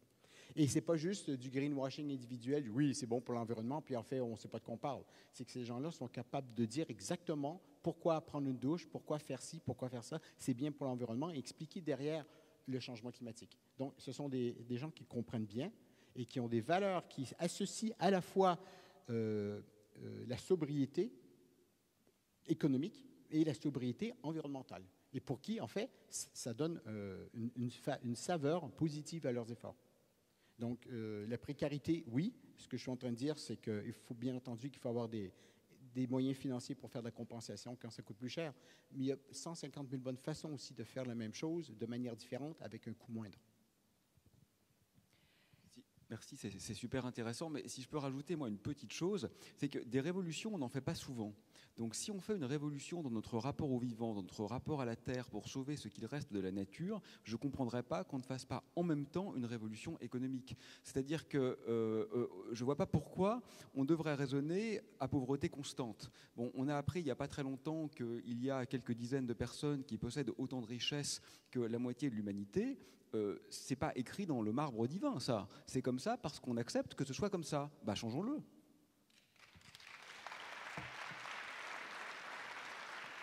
Il est écrit dans un des post-it qu'on est trop lent. Euh, est-ce que c'est de la faute de l'État euh, qu'on est trop lent, de votre point de vue? Oui, c'est de la faute de l'État. Enfin, d'abord de l'État, puisque c'est l'État qui a les moyens de réguler notre système économique et euh, d'opérer des transitions. Alors on parle de transition, moi je me suis intéressé il y a, quelques jours, je suis retombé sur le discours de Pierre Mesmer. Pierre Mesmer, euh, pour les plus jeunes, il était Premier ministre en 1973. 1973, c'est la date du premier choc pétrolier après la guerre du Kippour le 17 octobre, euh, les pays de l'OPEP décident d'augmenter de, 70% le prix du dollar du, baril et c'est le début de cette période finalement du tout pétrole. Et la France, à l'époque, est un, pays qui se chauffait majoritairement, son électricité était majoritairement, très majoritairement produite avec du fioul lourd et du pétrole. Et le 30 novembre 1973, Pierre Mesmer, Premier ministre, intervient à, à la télévision, à l'ORTF, hein, il n'y avait qu'une seule chaîne, et il explique aux Français, d'abord il les rassure, il leur dit, oula, on va faire des économies, mais vous inquiétez pas, on ne va pas interdire la circulation des automobiles le dimanche. Mais, il annonce une série de mesures. La première, les limitations de vitesse. Et oui, pour réduire le pétrole, hein, ce n'est pas pour la sécurité routière. 90 km/h sur les routes, 120 km/h sur les autoroutes. En conséquence, dit-il, bah, les rallyes automobiles et les courses automobiles, bah, elles sont suspendues jusqu'à nouvel ordre, puisqu'on peut pas aller, puisqu'elles vont aller au-delà des limitations de vitesse autorisées. On les supprime. Je y demande à toutes les compagnies, à Air France à l'époque et Air Inter, de limiter au strict minimum les dessertes aériennes nationales. Il euh, interdit toute publicité lumineuse après 22 heures. Il interdit l'éclairage des tours de bureau après 22 heures. Il interdit il dit j'ai demandé à l'ORTF d'interdire la télévision après 22 heures pour économiser l'électricité, sauf le samedi évidemment. On voit que là, effectivement c'était une autre époque, mais pas si éloignée. Un mois plus tard, la consommation nationale de pétrole en France baisse de 15%. Et euh, en mars 1974, le Conseil des ministres ordonne la construction et le lancement du programme TGV et la construction du TGV euh, Paris-Lyon, outre euh, l'accélération du programme euh, électronucléaire pour sortir de cette dépendance du pétrole. effectivement, à l'époque, on n'avait pas d'éoliennes ni de panneaux solaires, en tout cas, les technologies n'étaient pas mûres. Mais on voit les décisions qui ont été prises à l'époque par un Premier ministre. En quelques jours, on limite un certain nombre de comportements, on développe des énergies alternatives et on investit massivement dans les transports publics. Pourquoi est-ce qu'on ne ferait pas la même chose aujourd'hui? Merci.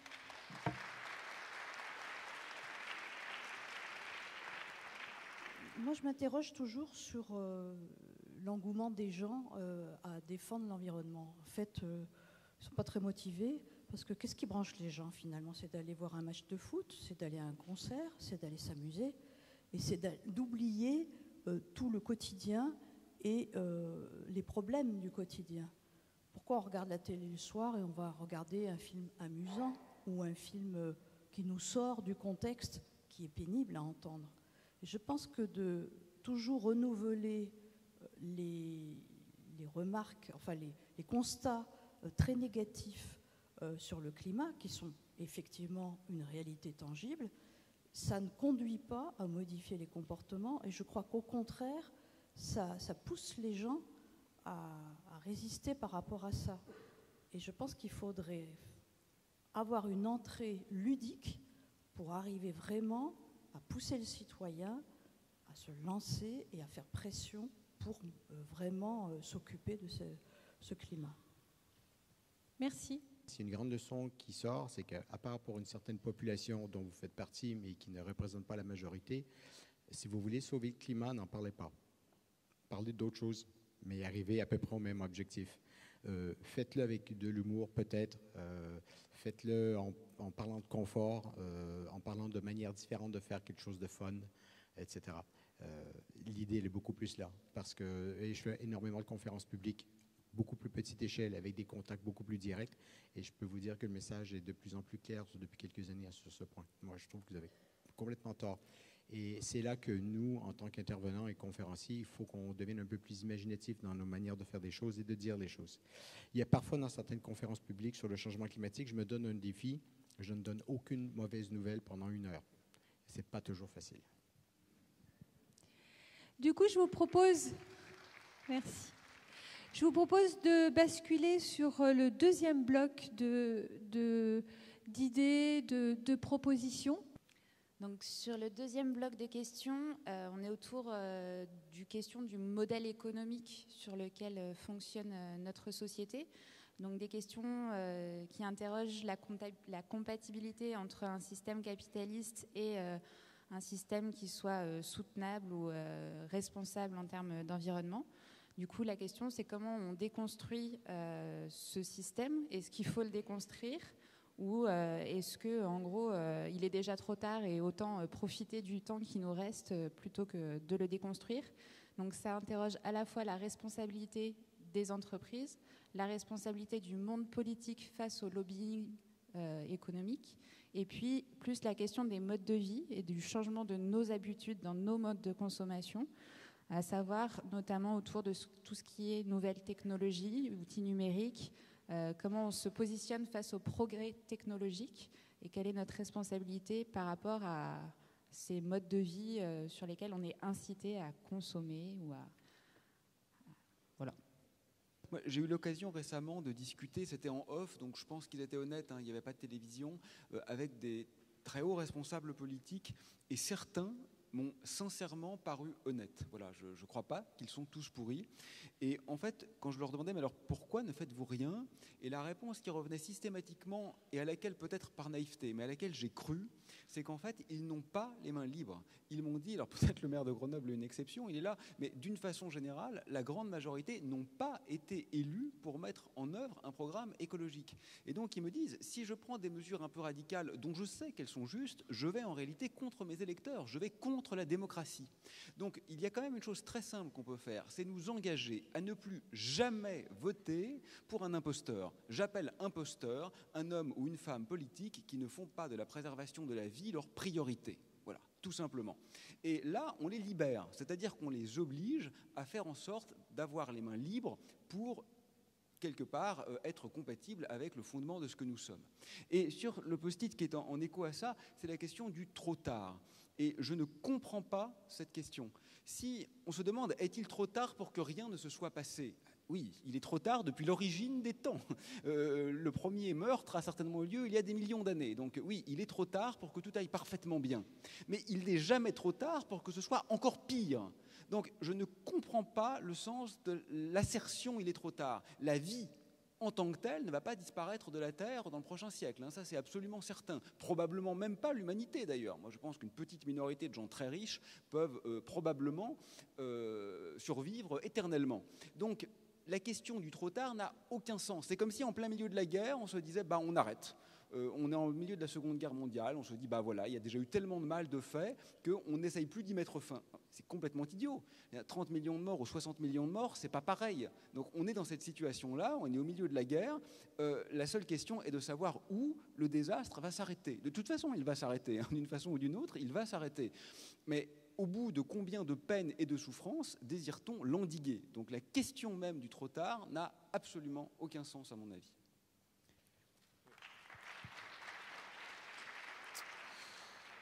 François. Euh, je vais rebondir sur ce que disait Aurélien sur euh, la démocratie représentative, etc., sur, ces questions-là. euh, c'est important de chercher, à mon avis, où est le pouvoir pour changer les choses. Et effectivement, la, thématique du, capitalisme, elle est préalable à tout, parce qu'elle transforme la façon dont on fait les choses. Et c'est le cas d'ailleurs pour la démocratie. En fait, nos instances démocratiques euh, ressemblent à une sorte de capitalisme politique, où on accumule du pouvoir, où il y a de la concurrence. Et, donc du coup, tant qu'on a un modèle économique qui crée des inégalités, on aura des inégalités en termes politiques et sociaux. Et euh, tant qu'on n'a pas réglé cette question, on ne peut pas aller euh, plus en avant. Et ça revient un peu à la remarque sur euh, comment on peut changer les choses de manière démocratique. Eh ben, à mon avis, il faut d'abord changer les structures, ce qui est vraiment au-dessus de nous, qui nous surplombe, pour ensuite changer les habitudes, les façons de dialoguer, etc. Et ça, ça passe par, il faut chercher où est le pouvoir. Et le pouvoir, il n'est pas individuellement, comme ça, chez chaque citoyen euh, séparé. Euh, le pouvoir actuellement, il est euh, concentré dans des entités dont on connaît les noms. Ce sont les États, ce sont les grandes entreprises, et c'est là qu'il faut, qu'il faut agir. Sébastien Mabi, comment on change les choses du coup? Comment on fait changer ces, institutions l'État, peut-être l'Europe aussi. Est-ce que vous aussi, vous avez dans vos démarches euh, des recours en direction de grandes entreprises? Est-ce que c'est un moyen pour les faire changer? Oui, je, pense qu'il faut s'attaquer à tous les responsables euh, de cette situation et à tous ceux qui sont en capacité de changer. Alors en premier lieu, euh, l'État en qualité de régulateur, et ça c'est le sens de l'affaire du siècle. Mais ce n'est pas suffisant, parce qu'il y a également des entreprises euh, qui sont responsables d'une part considérable d'émissions de gaz à effet de serre. Des travaux qui ont été menés aux États-Unis ont permis de démontrer qu'une euh, centaine d'entreprises sont responsables depuis 1988. 1988, c'est la date à laquelle l'Assemblée générale des Nations unies a voté une résolution dans laquelle elle dit que la question climatique est une préoccupation commune de l'humanité. Donc à partir de cette date, on ne pouvait plus l'ignorer une centaine d'entreprises qui sont responsables de 70% des émissions de gaz à effet de serre dans le monde. Donc ce sont ces entreprises qu'il faut également responsabiliser et euh, essayer de contraindre à, modifier leurs pratiques. Alors, avec la ville de Grenoble et avec euh, une dizaine d'autres collectivités et d'associations, nous euh, avons interpellé la société Total qui fait partie, qui est la seule entreprise française qui fait partie de, ce petit club d'énergie du carbone, d'entreprise du carbone, et Total qui est responsable à elle seule d'environ 0,8% des émissions mondiales euh, de gaz à effet de serre. Donc c'est considérable, c'est quasiment équivalent aux émissions de la France. Euh, et, euh, Donc vous l'attaquez en justice, c'est ça? Nous, nous allons l'attaquer en justice. Et ce que nous voulons démontrer, c'est finalement que cet objectif euh, de limiter le réchauffement à 1,5 degré, qui a été adopté à l'accord de Paris. Hein, c'est, et ce n'est pas 2 degrés, on, parle, on dit tout le temps 2 degrés, 2 degrés. Non, c'est 1,5. Il faut lire l'article 2. C'est nettement en dessous de 2 degrés et c'est, le but, c'est 1,5. Et cet objectif, il doit être partagé partout, par tous, puisque cet objectif, on a des villes, on a des collectivités, on a des citoyens, on a des entreprises, on a des États, 197 États qui se sont engagés euh, vers cet objectif. Et il faut également que les entreprises euh, s'y engagent. Et ce qu'on veut, c'est faire reconnaître que cet objectif est opposable, même s'il s'agit d'un traité international qui a été ratifié entre les États et que d'un point de vue juridique, c'est opposable uniquement aux États, il faut que cet objectif soit un objectif universel auquel tout le monde concourt, y compris ces entreprises qui ont les ressources financières. Un total, c'est 26 milliards de cash flow dégagés euh, euh, l'année dernière, donc c'est des sommes considérables. Et avec ces sommes, on, ils ont les moyens, ils ont la technique, ils ont les compétences aussi humaines pour pouvoir accélérer la transition. Et en fait, ce qu'ils ont très peur, toutes ces entreprises-là, c'est ce qu'on appelle le risque de transition carbone. C'est-à-dire que très rapidement, comme on le voit aujourd'hui sur, le diesel, hein, sur le diesel, les, les, chutes, enfin, la transition s'opère de manière extrêmement rapide, et ben c'est que en quelques années, bah, tout le monde désinvestisse et que ces entreprises-là, dont les actifs sont des gisements gaziers, pétroliers, des réserves qui, permettraient d'émettre des gaz à effet de serre jusqu'à 2300 euh, ou 2400, eh ben, que, tout ce capital ne vaut plus rien parce que ce pétrole et ce gaz, on doit le laisser sous terre et que ces entreprises s'effondrent. Mais on n'a pas envie de sauver le soldat Total. On a juste envie que Total mette euh, ses moyens pour euh, aider à la transition et qu'elle soit rapide et qu'elle soit le plus rapide possible. Merci. Stéphane Labranche. Je vais être un peu provoque et euh, contrepoint ici. Il y a quelque chose qui me dérange vachement dans cette discussion. On accuse le capitalisme. Il ne faudra pas oublier que le capitalisme dépend de notre, consommation. Euh, sans consumérisme effréné, il n'y a pas de capitalisme. Non? Ce que je dis là, c'est peut-être un petit peu. Euh, ça n'a pas nécessairement toujours l'air du temps, mais c'était aussi une façon de dire que chaque action que vous prenez est une forme de participation. Vous décidez d'acheter de la viande, c'est une forme de participation à l'égard du climat, négative, mais ça, c'en est une. Donc, en fait, l'idée ici, c'est que si chacun de nous a ce pouvoir d'achat, on appelle ça pouvoir d'achat, mais je donne une signification différente ici, c'est qu'on peut aussi influencer les grandes entreprises à changer. Le droit est une manière, sans problème. Des fois, il faut mettre un petit coup de pied là où il faut. Mais il y a aussi chacun d'entre nous, ça fait plus de 60 millions en France, qui peuvent, avec l'euro, décider ce qu'on achète et infliger des tendances, des modifications dans les modes de production, etc., sur les grandes compagnies qui vont avoir un effet énorme. Parce que s'il y a un truc qu'ils comprennent bien, ce sont les profits.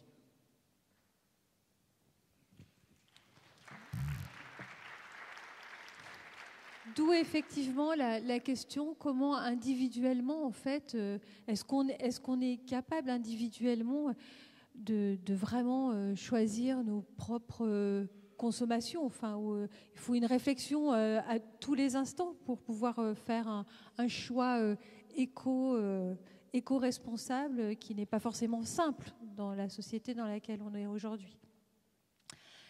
Je vous propose de rebasculer dans la salle pour euh, quelques interventions, pour deux, trois interventions, si vous le souhaitez.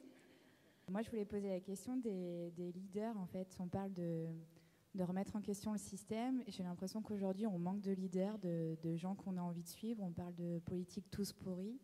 Euh, est-ce qu'aujourd'hui, on manque pas de leaders qui donnent envie un peu de, nous entraîner et d'animer aussi ce collectif qui, bah, qui pense qu'il faut agir euh, et puis du coup, la question sous-jacente, c'est est-ce qu'autour de la table, il y a des gens parmi vous qui ont envie de se, se présenter et, et, euh, et d'aller en politique?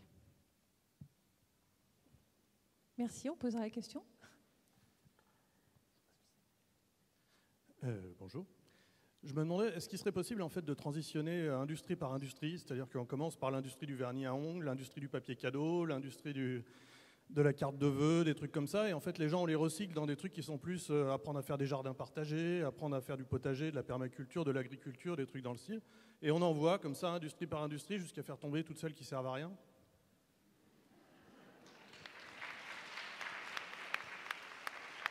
Comment on arrive à, à, pousser, euh, à pousser dans ce sens-là euh, en avec des, moyens, en, incluant les gens. voilà. Quelles sont les, quelles sont les pistes? Qu'est-ce qu'on fait déjà? Et quelles sont les pistes? Euh, Deux commentaires à ce sujet. Je, pense que c'est important, effectivement. Mais même dans la salle ici, on n'a pas tous la même écoute euh, et la même manière d'entendre le changement climatique. On ne s'intéresse pas à ces questions-là pour les mêmes raisons. Et avoir un seul discours unique pour tout le monde ne fonctionne pas.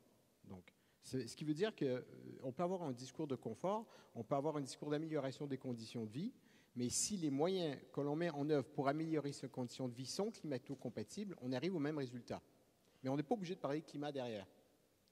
Euh, j'ai pas mal voyagé, j'ai passé pas mal de temps dans le tiers-monde. Euh, je peux vous dire que commencer à parler de changement climatique à des gens qui ont de la difficulté à se nourrir à la fin de la semaine, je vois pas l'intérêt non plus. C'est demander beaucoup trop. En revanche, leur fournir des moyens d'avoir une production agricole qui leur permet d'être autonome et qui n'est pas endommageable pour l'environnement et qui, etc., va avoir un effet positif sur l'environnement et sur leur qualité de vie en même temps. Donc, euh, c'est pour ça, moi, que sur, sur, ces questions-là, franchement, on n'est pas obligé d'en parler du climat pour faire quelque chose. Euh, ça n'intéresse pas tout le monde, c'est pas vrai, et ça n'intéressera jamais tout le monde. Il y a autre chose au quotidien euh, qui nous préoccupe. On a du boulot, on a des enfants, on a, etc., etc.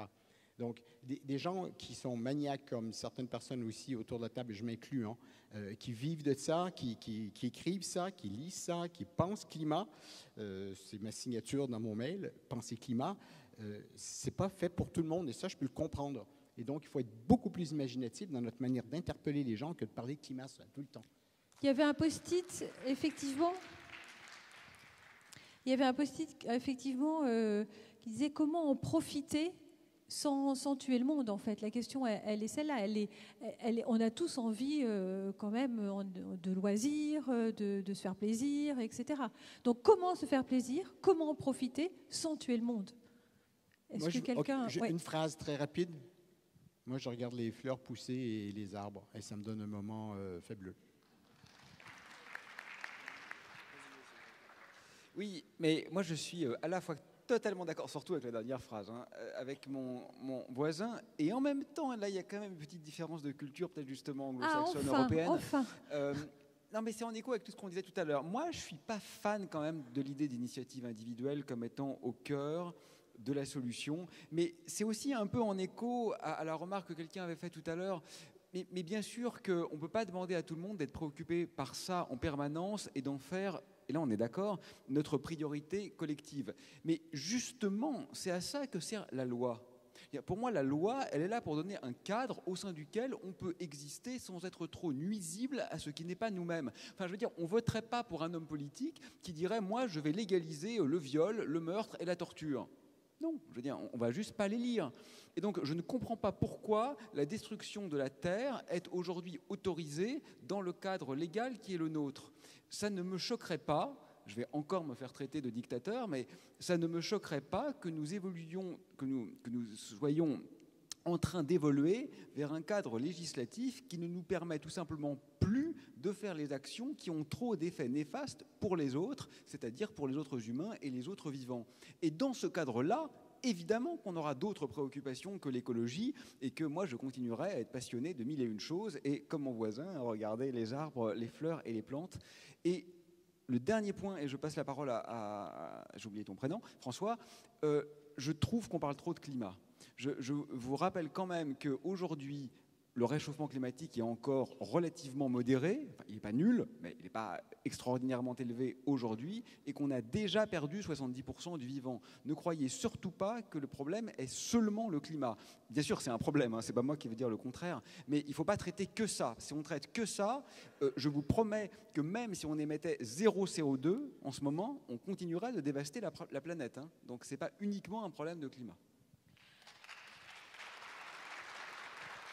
François, euh, oui, François pour... j'avais envie de, vous poser, de Oui. vous poser une question. Est-ce que tout ça passe par des leaders? L'important, en fait, c'est de, euh, de euh, la machine politique. Elle fonctionne avec euh, de l'empathie, euh, de, de, des formes de représentation. Ça peut passer par euh, des leaders, mais ça peut aussi passer par des représentations imagées, par plein de, plein de formes, en fait, de l'art, etc. Et en fait, le, moteur politique qui va faire qu'il y aura un changement plus global, plus, plus vaste en termes de mentalité, c'est le moteur de l'indignation. Et l'indignation, elle va passer par les émotions. Et euh, peut-être que des fois, il y a un peu ce côté euh, catastrophiste, euh, c'est la fin du monde, etc. Mais c'est une façon aussi de, de, de nous permettre d'être pas seulement dans la raison, etc. C'est d'être indigné et, et d'être en colère contre, contre ce qui se passe. Parce que c'est euh, aussi l'histoire d'une lutte, c'est une bataille. On n'est pas là dans une transition facile, euh, coulante, etc. Et donc, il faut des colères, il faut, des, euh, il faut vraiment un sentiment d'indignation. Ça passe pas nécessaire, nécessairement par la figure du leader, mais ça passe aussi par des images, par, par plein de choses. Et il faut développer ça, par contre. Autant sur le côté euh, responsabilité de l'individu face à l'environnement, etc. Moi, je trouve c'est un peu difficile et je trouve qu'il faut plus agir au niveau des structures. Par contre, autant au niveau euh, du changement de mentalité, euh, eh bien, il faut jouer énormément sur cette, cette, comment dire, cette fibre émotionnelle qui permet l'indignation parce que c'est le moteur du changement en politique. Merci. Du coup, je vous propose de passer au troisième bloc de, de post-it. Du coup, Nadia, tu nous rappelles euh, ce qu'il y avait de, dans ce, ce, cet espace-là. Alors, les questions tournent autour du modèle politique et du risque d'un régime qui soit euh, liberticide euh, voire dictatorial. Est-ce qu'il y a un vrai risque à aller vers un, régime liberticide? Est-ce qu'il y a un régime politique qui serait plus adapté qu'un autre, plus susceptible de sauver la planète? Est-ce que la démocratie participative est compatible avec la transition environnementale? Bref, quel est le type de régime politique qui serait le plus adapté à une, évolution euh, dans le cadre d'une transition euh, écologique? Ensuite, il y a la question des échelles. Euh, comment on agit à l'échelle internationale? Comment ça fonctionne aujourd'hui? Est-ce que les objectifs du développement durable de l'ONU servent à quelque chose?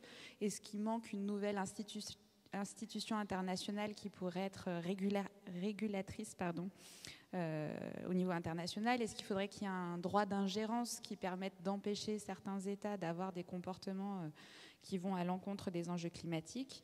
Et puis au-delà du niveau international, euh, comment on agit au niveau local sur des politiques qui parfois peuvent paraître contradictoires ou incompatibles avec des enjeux environnementaux Donc du, du micro local au global, comment on est cohérent Merci. Allez-y, oui. Oui, alors je, pense que pour moi, il y, a, quelque chose de, central. Je vois un post-it faut-il créer une instance internationale régulatrice? Alors, effectivement, en fait, ce qu'on ressent aujourd'hui, c'est beaucoup une capacité, euh, un sentiment d'impuissance. On entend beaucoup de gens dire Mais pourquoi je ferais des efforts Puisque de toute façon, il y a un milliard et demi de Chinois qui font n'importe quoi. Euh, et on constate que finalement, on parle des, il y a une question sur, les ODD, les objectifs du développement durable. Moi, je ferai référence également aux, objectifs d'Aichi. On, on, évoque le vivant, la biodiversité. Aichi, euh, en Corée du Sud, en 2010, on a fixé, fixé des objectifs, 20 objectifs pour la prochaine décennie, donc jusqu'en 2020. Et on fera le bilan euh, l'année prochaine. Et sur ces 20 objectifs, donc pour, pour mettre fin à l'érosion ou à l'effondrement de la biodiversité, suivant qu'on est optimiste ou réaliste, et euh, sur ces 20 objectifs, on en a, on fera le bilan l'année prochaine, mais il y en a un qui est atteint. 19, on est complètement à la rue, complètement à la rue.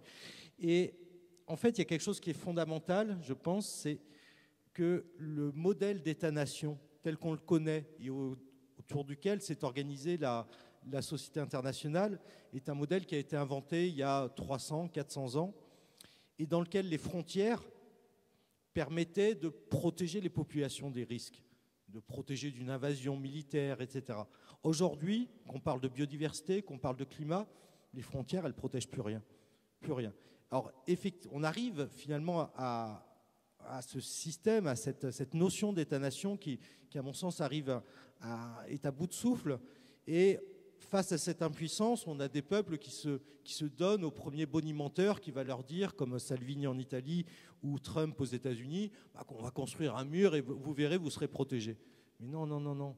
Le mur, il ne va, pas, va pas protéger de la, hausse des températures, il ne va pas protéger des, mouvements migratoires. Peut-être que Salvini, c'est efficace là, de refuser les bateaux euh, actuellement, mais quand euh, dans 10 ans, dans 15 ans, il y aura des centaines de, de, milliers, de millions de personnes qui iront et qui, et qui seront légitimes aussi à venir vers euh, chez nous, parce qu'ils ne seront pas responsables des effets du mode de développement dont ils subissent en premier les effets. tout ça, il faut ces frontières ne, fonctionneront plus. Donc est-ce qu'il faut un, organe international indépendant de régulation? Euh, Oui. Euh, sous quelle forme? La plus démocratique possible, j'espère. Mais en tout cas, est-ce qu'il faut dépasser le concept d'État-nation J'en suis persuadé. Une des questions qui est, est notée, c'est a-t-on le, le temps de la démocratie face à l'urgence climatique? Quelle question? Euh, moi, je vais revenir à cette question-là, mais aussi la question du meilleur système politique. S'il y a un truc qu'on comprend sur la question du changement climatique, c'est que les solutions uniques et homogènes pour tout le monde ne marchent pas. Ce qu'on veut, c'est la diversité.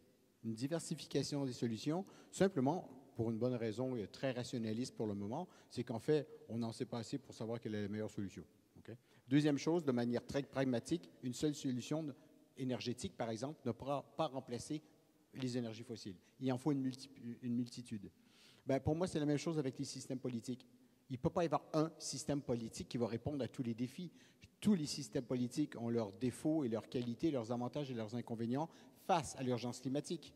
Euh, je pense que l'État chinois est un très bon exemple de ces deux du paradoxe. Euh, le gouvernement chinois est très très fort sur les questions de changement climatique, installe énormément d'énergie renouvelable, de photovoltaïque et d'éoliennes et de centrales à charbon. Fait les deux. Donc, euh, et ici, on fait peut-être moins en, en termes d'énergie renouvelable, mais on a d'autres avantages euh, et, d'autres actions, d'autres initiatives qui valent vraiment la peine. Les plans climat-énergie territoriaux en France sont quasi uniques dans le monde euh, de par leur poids, euh, leur potentiel légal et leur potentiel de résultat. ça ne se fait pas partout. Hein. Il ne faut pas penser que la plupart des pays ont ce type de, ce type de plan, de plan. Donc, il n'y a pas un seul parti politique ou un système politique qui a toutes les réponses. C'est juste impossible. Et si on s'enferme dans cette logique, le jour où ce système politique est face à un danger ne peut pas, auquel il ne peut pas répondre, il est foutu et il n'y a pas d'alternative ailleurs. Donc il faut garder des alternatives, il faut garder la multitude. Là, moi, la biodiversité, j'y crois, mais j'y crois autant en termes culturels et politiques et économiques. Je vais euh, continuer exactement ce que tu es en train de dire en, en prenant un exemple. J'ai étudié du coup la démocratie directe en Suisse avec l'initiative populaire qui est à la mode euh, actuellement. Et euh, cette initiative euh, populaire, dans son histoire, elle a contribué à faire émerger pas mal d'initiatives sur protection de l'environnement, protection de la nature. Il y en a quelques-unes qui ont réussi. Par exemple, toutes les communes, enfin, aucune commune n'a le droit d'avoir plus de 20% de résidences secondaires, ce qui fait que ça préserve un peu le milieu alpin, par exemple, où il y a beaucoup de touristes, etc. Euh, il y a une initiative actuellement qui va bientôt être votée sur euh, euh, les multinationales responsables, sur le fait de pouvoir les condamner si elles, elles enfreignent les droits fondamentaux en termes les droits humains, mais aussi les droits environnementaux à l'étranger. Donc ça veut dire que les personnes victimes à l'étranger pourront attaquer les multinationales suisses sur le sol suisse.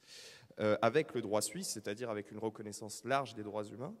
Et puis, à l'inverse aussi, euh, vous avez plein d'initiatives qui, euh, qui sont arrivées euh, sur régulation économique, régulation financière, et toutes celles-là, elles ont échoué, parce que la Suisse est dans un contexte très néolibéral, où il y a une forte valeur politique de l'économie, du capitalisme, et donc du coup du capitalisme financier. Et donc du coup, ces initiatives, elles échouent à chaque fois, et ça, ça contribue pas à améliorer le, problème. Et, et donc du coup, même avec une belle démocratie directe sur le papier, on peut aboutir à des choses qui sont très très très éloignées. Donc effectivement, il faut diversifier les façons de faire de la politique parce que ça permet justement l'inclusion dont on parlait tout à l'heure. Sinon, euh, si on n'a qu'une façon de voter, si on n'a qu'une façon de s'exprimer, forcément on exclut des gens parce qu'on est différent.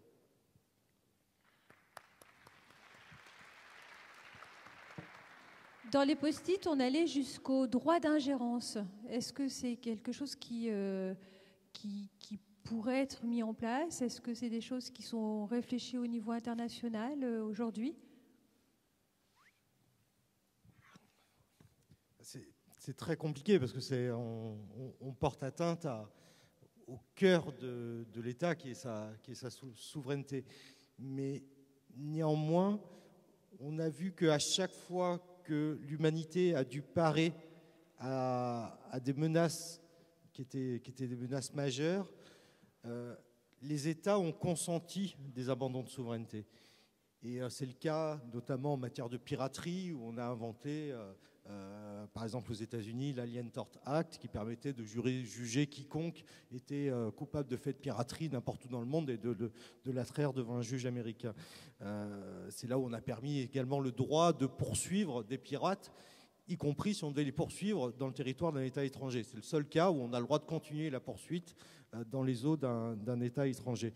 On le voit également en matière de nucléaire militaire. On n'en parle pas beaucoup, mais le nucléaire militaire, on a quand même réussi à contenir la prolifération de l'arme atomique. Et comment En consentant des abandons de souveraineté. C'était, rappelez-vous, pendant la guerre en Irak, euh, les prémices de la guerre en Irak, vous aviez un régime militaire, ou aujourd'hui en Iran, des régimes euh, militaires qui sont autoritaires et qui pourtant ouvrent leurs portes de, de leurs installations les plus sensibles, leurs installations militaires, à des inspecteurs étrangers. C'est le système de l'AUA, l'Agence internationale de l'énergie atomique. Donc on, voit que quand l'humanité a dû faire face à des menaces qui mettaient en question sa survie, ben, finalement, c'est la souveraineté qui cède. Et je pense que pour le climat, pour la biodiversité, pour tous les problèmes environnementaux qui aujourd'hui ne sont plus des problèmes nationaux, qui sont même plus des problèmes internationaux, mais qui sont des problèmes globaux, on doit avoir des instances de régulation globale, y compris si on doit euh, porter atteinte à la souveraineté d'un État.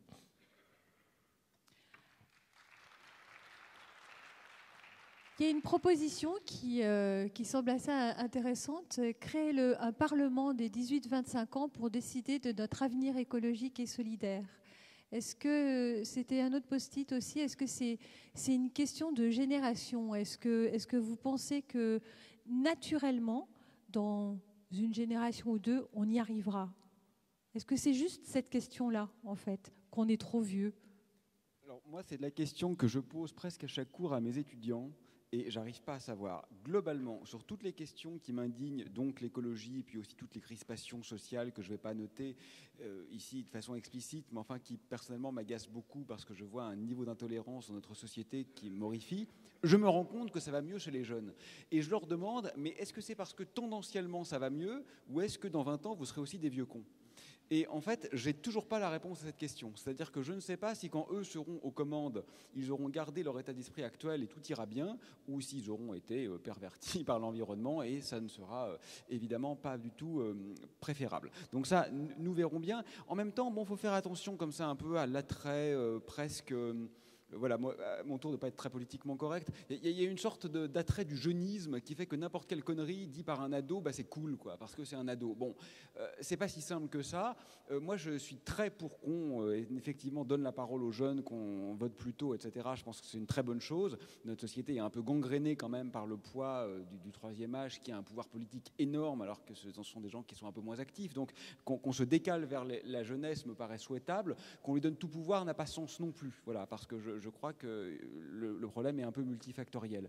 Et je voulais juste revenir sur un, tout petit point précédent extrêmement rapidement, qui est euh, hiérarchiser les, les moyens d'action.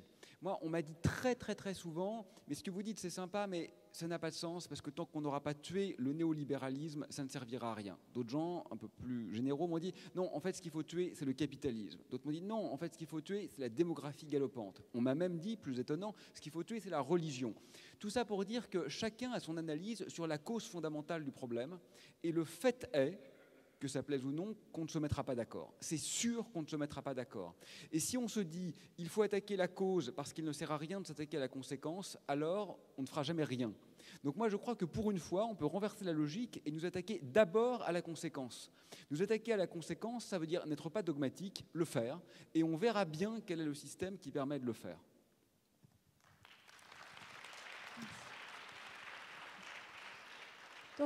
Aurélia Barreau, vous ne l'avez pas vu parce que vous étiez en train de parler, mais il y avait un petit post-it qui proposait d'envoyer les cons dans les trous noirs.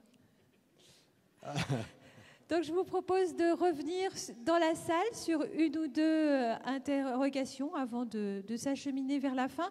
Peut-être de ce côté, parce qu'il y a eu beaucoup d'interventions de ce côté, s'il y a des envies de, des personnes qui ont envie devant, là. Alors, euh, euh, bon, la dame et puis après le monsieur qui est là devant. Allez-y trouve anormal quelque part que ce soit les, jeunes, les, gens de 60, 70, 80 ans qui décident pour l'avenir des jeunes.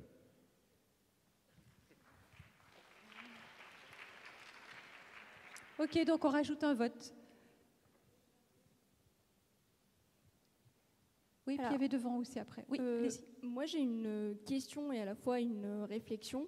C'est, euh, enfin, la question c'est est-ce que les politiques peuvent vraiment avoir euh, avoir un rôle à jouer pour que le simple citoyen puisse agir par rapport à cette question du climat, parce que les discours alarmants, on entend, euh, on entend tous les jours, on n'a pas une autre planète, on n'a pas de plan B, mais euh, enfin, à ce jour, on a, on a tellement dévasté la Terre qu'on va polluer encore l'espace. Donc est-ce qu'il y a vraiment possibilité que les politiques, et comment surtout, peuvent euh, faire agir ou réagir le, simple citoyen et pas les écologistes de, première classe qui sont déjà sensibilisés à cette question. Politique de mobilité, rénovation d'habitat, végétalisation, euh, voiture, il y a énormément de politiques publiques qui vont dans le sens du changement qui vont dans le sens de la lutte contre le changement climatique, et tranquillement en France sur les questions d'adaptation au changement climatique, mais ça c'est autre chose. Mais il y a énormément de choses qui sont faites. Moi j'ai commencé, à, à là-dessus en 2005, mais on pataugeait dans la gadoue littéralement, on ne savait pas ce qu'on faisait. Et si on réussissait avec un projet, on se disait, hey, on, a une, réussite, on ne savait même pas pourquoi. Et puis si on échouait, on ne savait pas pourquoi non plus. Euh, et donc là, on a eu des évaluations, on a, eu des retours sur expérience qui, ont fait que maintenant, on sait, on s'en va. La, la, plus, la question, c'est plus de savoir comment on fait, c'est de le faire à quelle vitesse, mais quels sont les obstacles qui nous empêchent de le faire? Euh, sur les questions d'atténuation, hein, sur les questions d'adaptation, euh, autant biologiquement on commence à comprendre les impacts, mais les questions d'adaptation des sociétés humaines aux impacts du changement climatique qui ont des impacts sur la nature, etc., c'est vachement plus complexe. Mais sur les questions d'atténuation, on n'est plus en mode découverte là, on est en mode euh, opérationnel, il faut juste faire plus et mieux. Euh, mais il y a beaucoup de choses. Franchement, quand on regarde ce qu'on faisait il y a 10-15 ans, on n'est plus dans le même monde. Moi, je peux vous dire un, petit mot sur la dernière intervention. Je ne suis pas sûr d'avoir complètement comprise, mais si je l'ai bien comprise, sincèrement, moi, c'est une question que je me pose, en fait. C'est-à-dire, euh, effectivement, est-ce que euh, qu'en allant plus vite à la catastrophe, euh, ce ne serait pas finalement presque mieux? Le, problème de ce raisonnement, c'est que on est confortablement installé là dans une salle, tu vois, qui est chauffée. Euh, on a, c'est magnifique. On est entouré de bois. Euh, je connais pas ta vie, mais je suppose que tu vas peut-être pas aller dormir dans la rue. Tu as peut-être un vrai lit, etc. Moi, j'en ai un en tout cas. Et on est là à se dire, bah, peut-être qu'après tout, il faut mieux laisser mourir tout le monde et ça serait pour le meilleur. Mais d'un seul coup, quand même, faut comprendre que c'est pas des abstractions dont on parle. C'est, c'est pas juste. Moi, euh, franchement, la fin de la société techno-industrielle, ça m'empêcherait pas de dormir. Hein. Je cherche pas à tout prix à sauver le monde tel qu'il est. Au contraire j'aimerais qu'il change.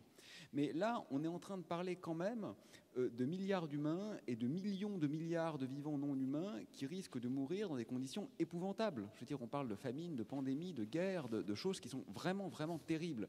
Alors là, confortablement installé, se dire, bon, finalement, c'est peut-être le mieux, moi, sincèrement, je ne suis pas prêt à le faire. Je ne suis pas prêt à le faire parce qu'on parle de gens qu'on connaît, quoi. Ce pas des abstractions. Et je ne suis pas prêt à sacrifier les vivants actuels pour ceux qui ne sont pas encore nés, qui seront peut-être aussi bien ou meilleurs que nous. C'est vrai que c'est possible. C'est vrai que si on s'éteint, on sera peut-être remplacé par des espèces extraordinaires. Sauf que pour l'instant, elles vont pas souffrir, elles n'existent pas. Nous, on est là, et je trouve quand même que se battre pour minimiser l'agonie de ce que nous sommes, c'est un jeu qui mérite d'être joué, quoi.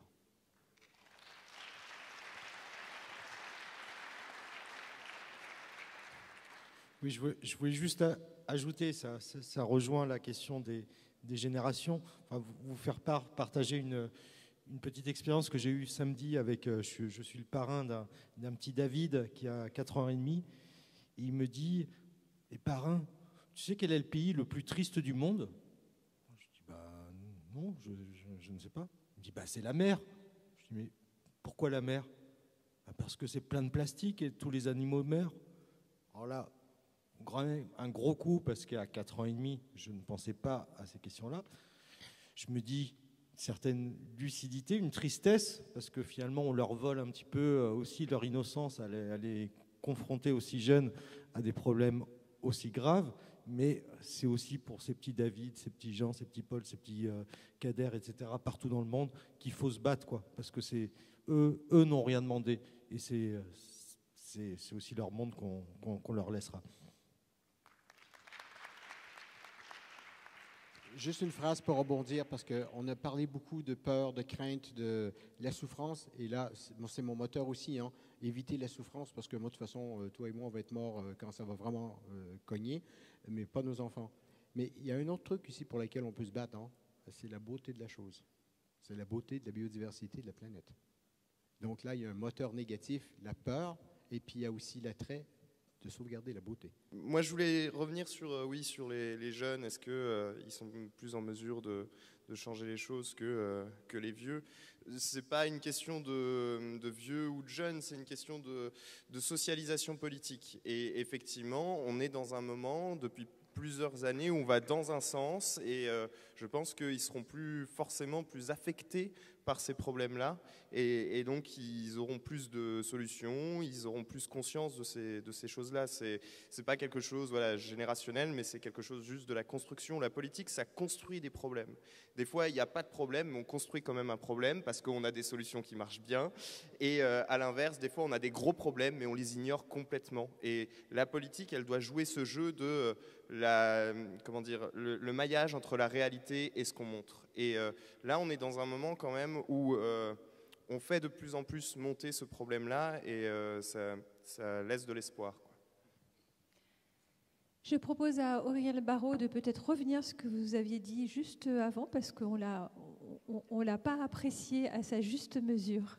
Et attention, parce que je risque de vous réciter la totalité du poème qui fait trois quarts d'heure si vous me cherchez. La non, parce prochaine que fois. voilà, on parlait de beauté, et moi j'adore quand mon voisin parle de beauté, des plantes et des fleurs, et je disais que Michel-Ange exténué, j'ai taillé dans la vie, mais la beauté, Seigneur, toujours je l'ai servi. C'est un tout petit extrait du poème Le condamné à mort de Jean Genet, et je le trouve sublime parce qu'il est dans une prison, enfin il se fantasme dans une prison au bagne, son amant va mourir, et il se dit, même là finalement, il y a encore de l'amour parce qu'il y a encore de la beauté. Je vous remercie beaucoup d'avoir participé pleinement à ce débat. Merci beaucoup à, à nos intervenants.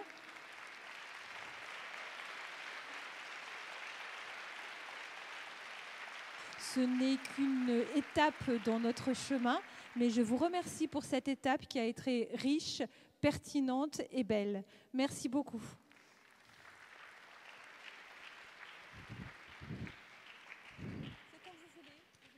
Sylvie, Sylvie, merci beaucoup.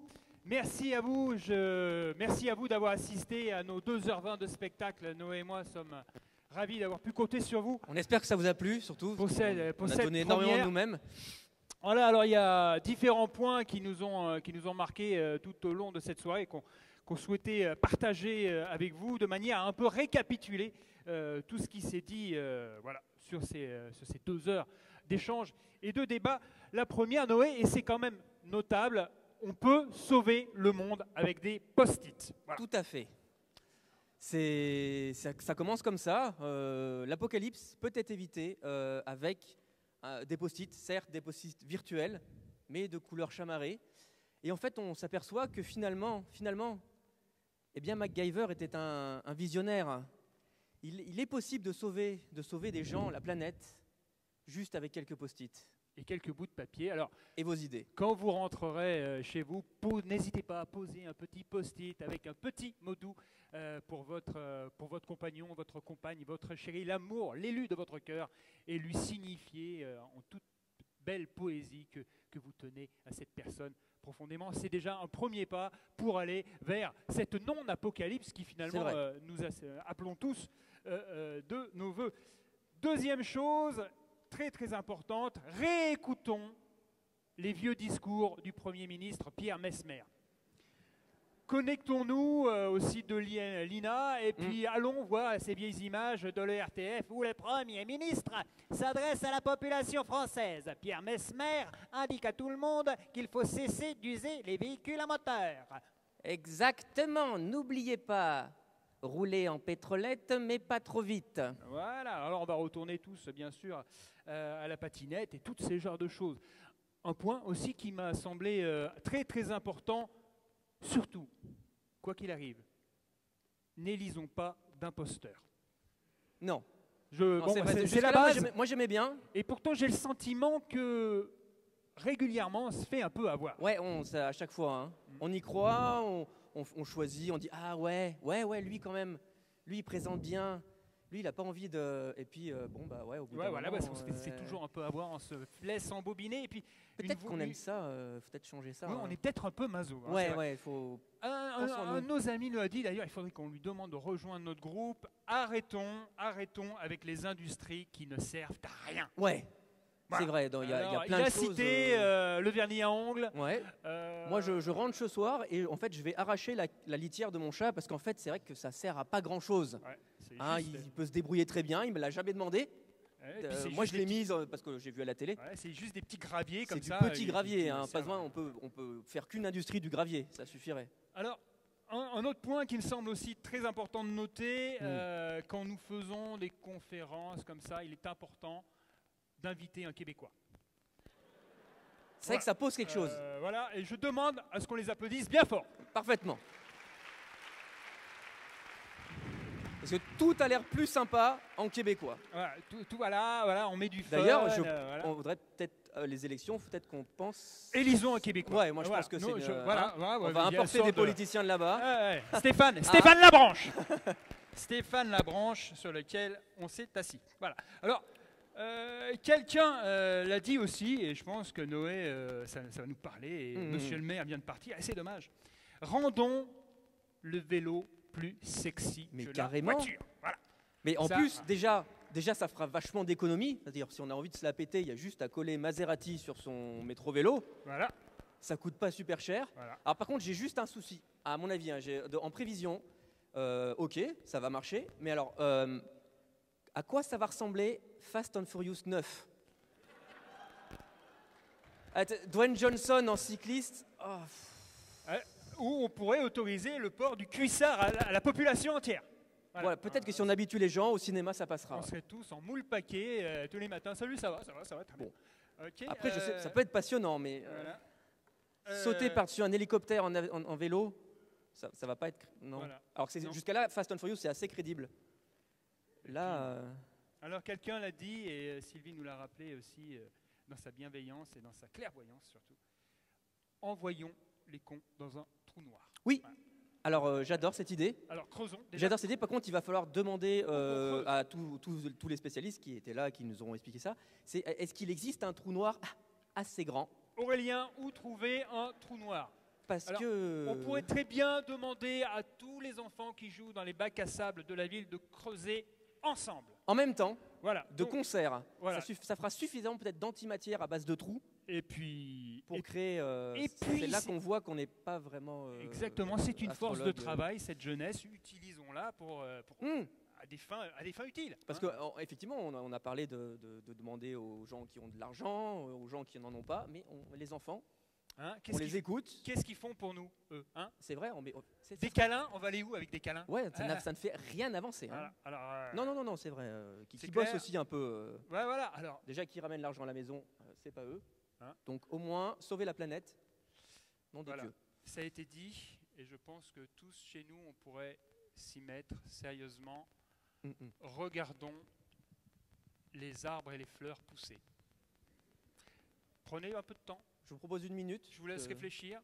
Pensez à un ficus, un yucca, un bégonia, à Mm, un bouquet de chrysanthème, allez savoir, un platane. Ils ont des sentiments, ils ont des idées. Voilà. Peut-être que eux aussi aimeraient envoyer des post-it Voilà. sur Klaxoon. Ouais, des post-it qui sont faits en papier, donc en arbre. L'arbre se dit oula, oula, oula. Ouais, Tu vois, mais c'est une sorte de sacrifice personnel. On Alors, va faire des sacrifices, et ben Voilà. les arbres aussi. Voilà, tu fais alors- des post-it. Alors ils ont changé plein d'arbres en ville, c'est super pour en mettre de nouveaux, des arbres plus jeunes, plus vigoureux. Euh, Il y a jeunisme, euh, hein, Ah, euh, euh, jeunisme, jeunisme, végétalisme.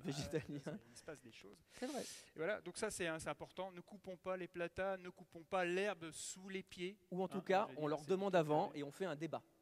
Débattons là-dessus, la démocratie Couper participative. ou ne pas couper. Ça fonctionne par ça, ça fonctionne par vous. Alors surtout, Mm. pensez à toutes ces choses-là. La plus importante étant, Oui. bien entendu, Mm, mm. Sauver les chatons? Merci.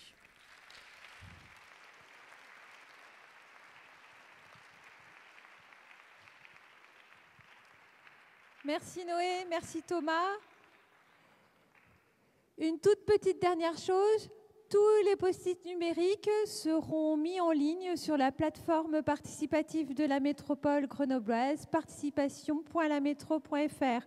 Pas demain, parce que demain on est aux rencontres, mais dans un certain nombre de jours, promis, vous aurez tout sur, euh, sur la plateforme participative.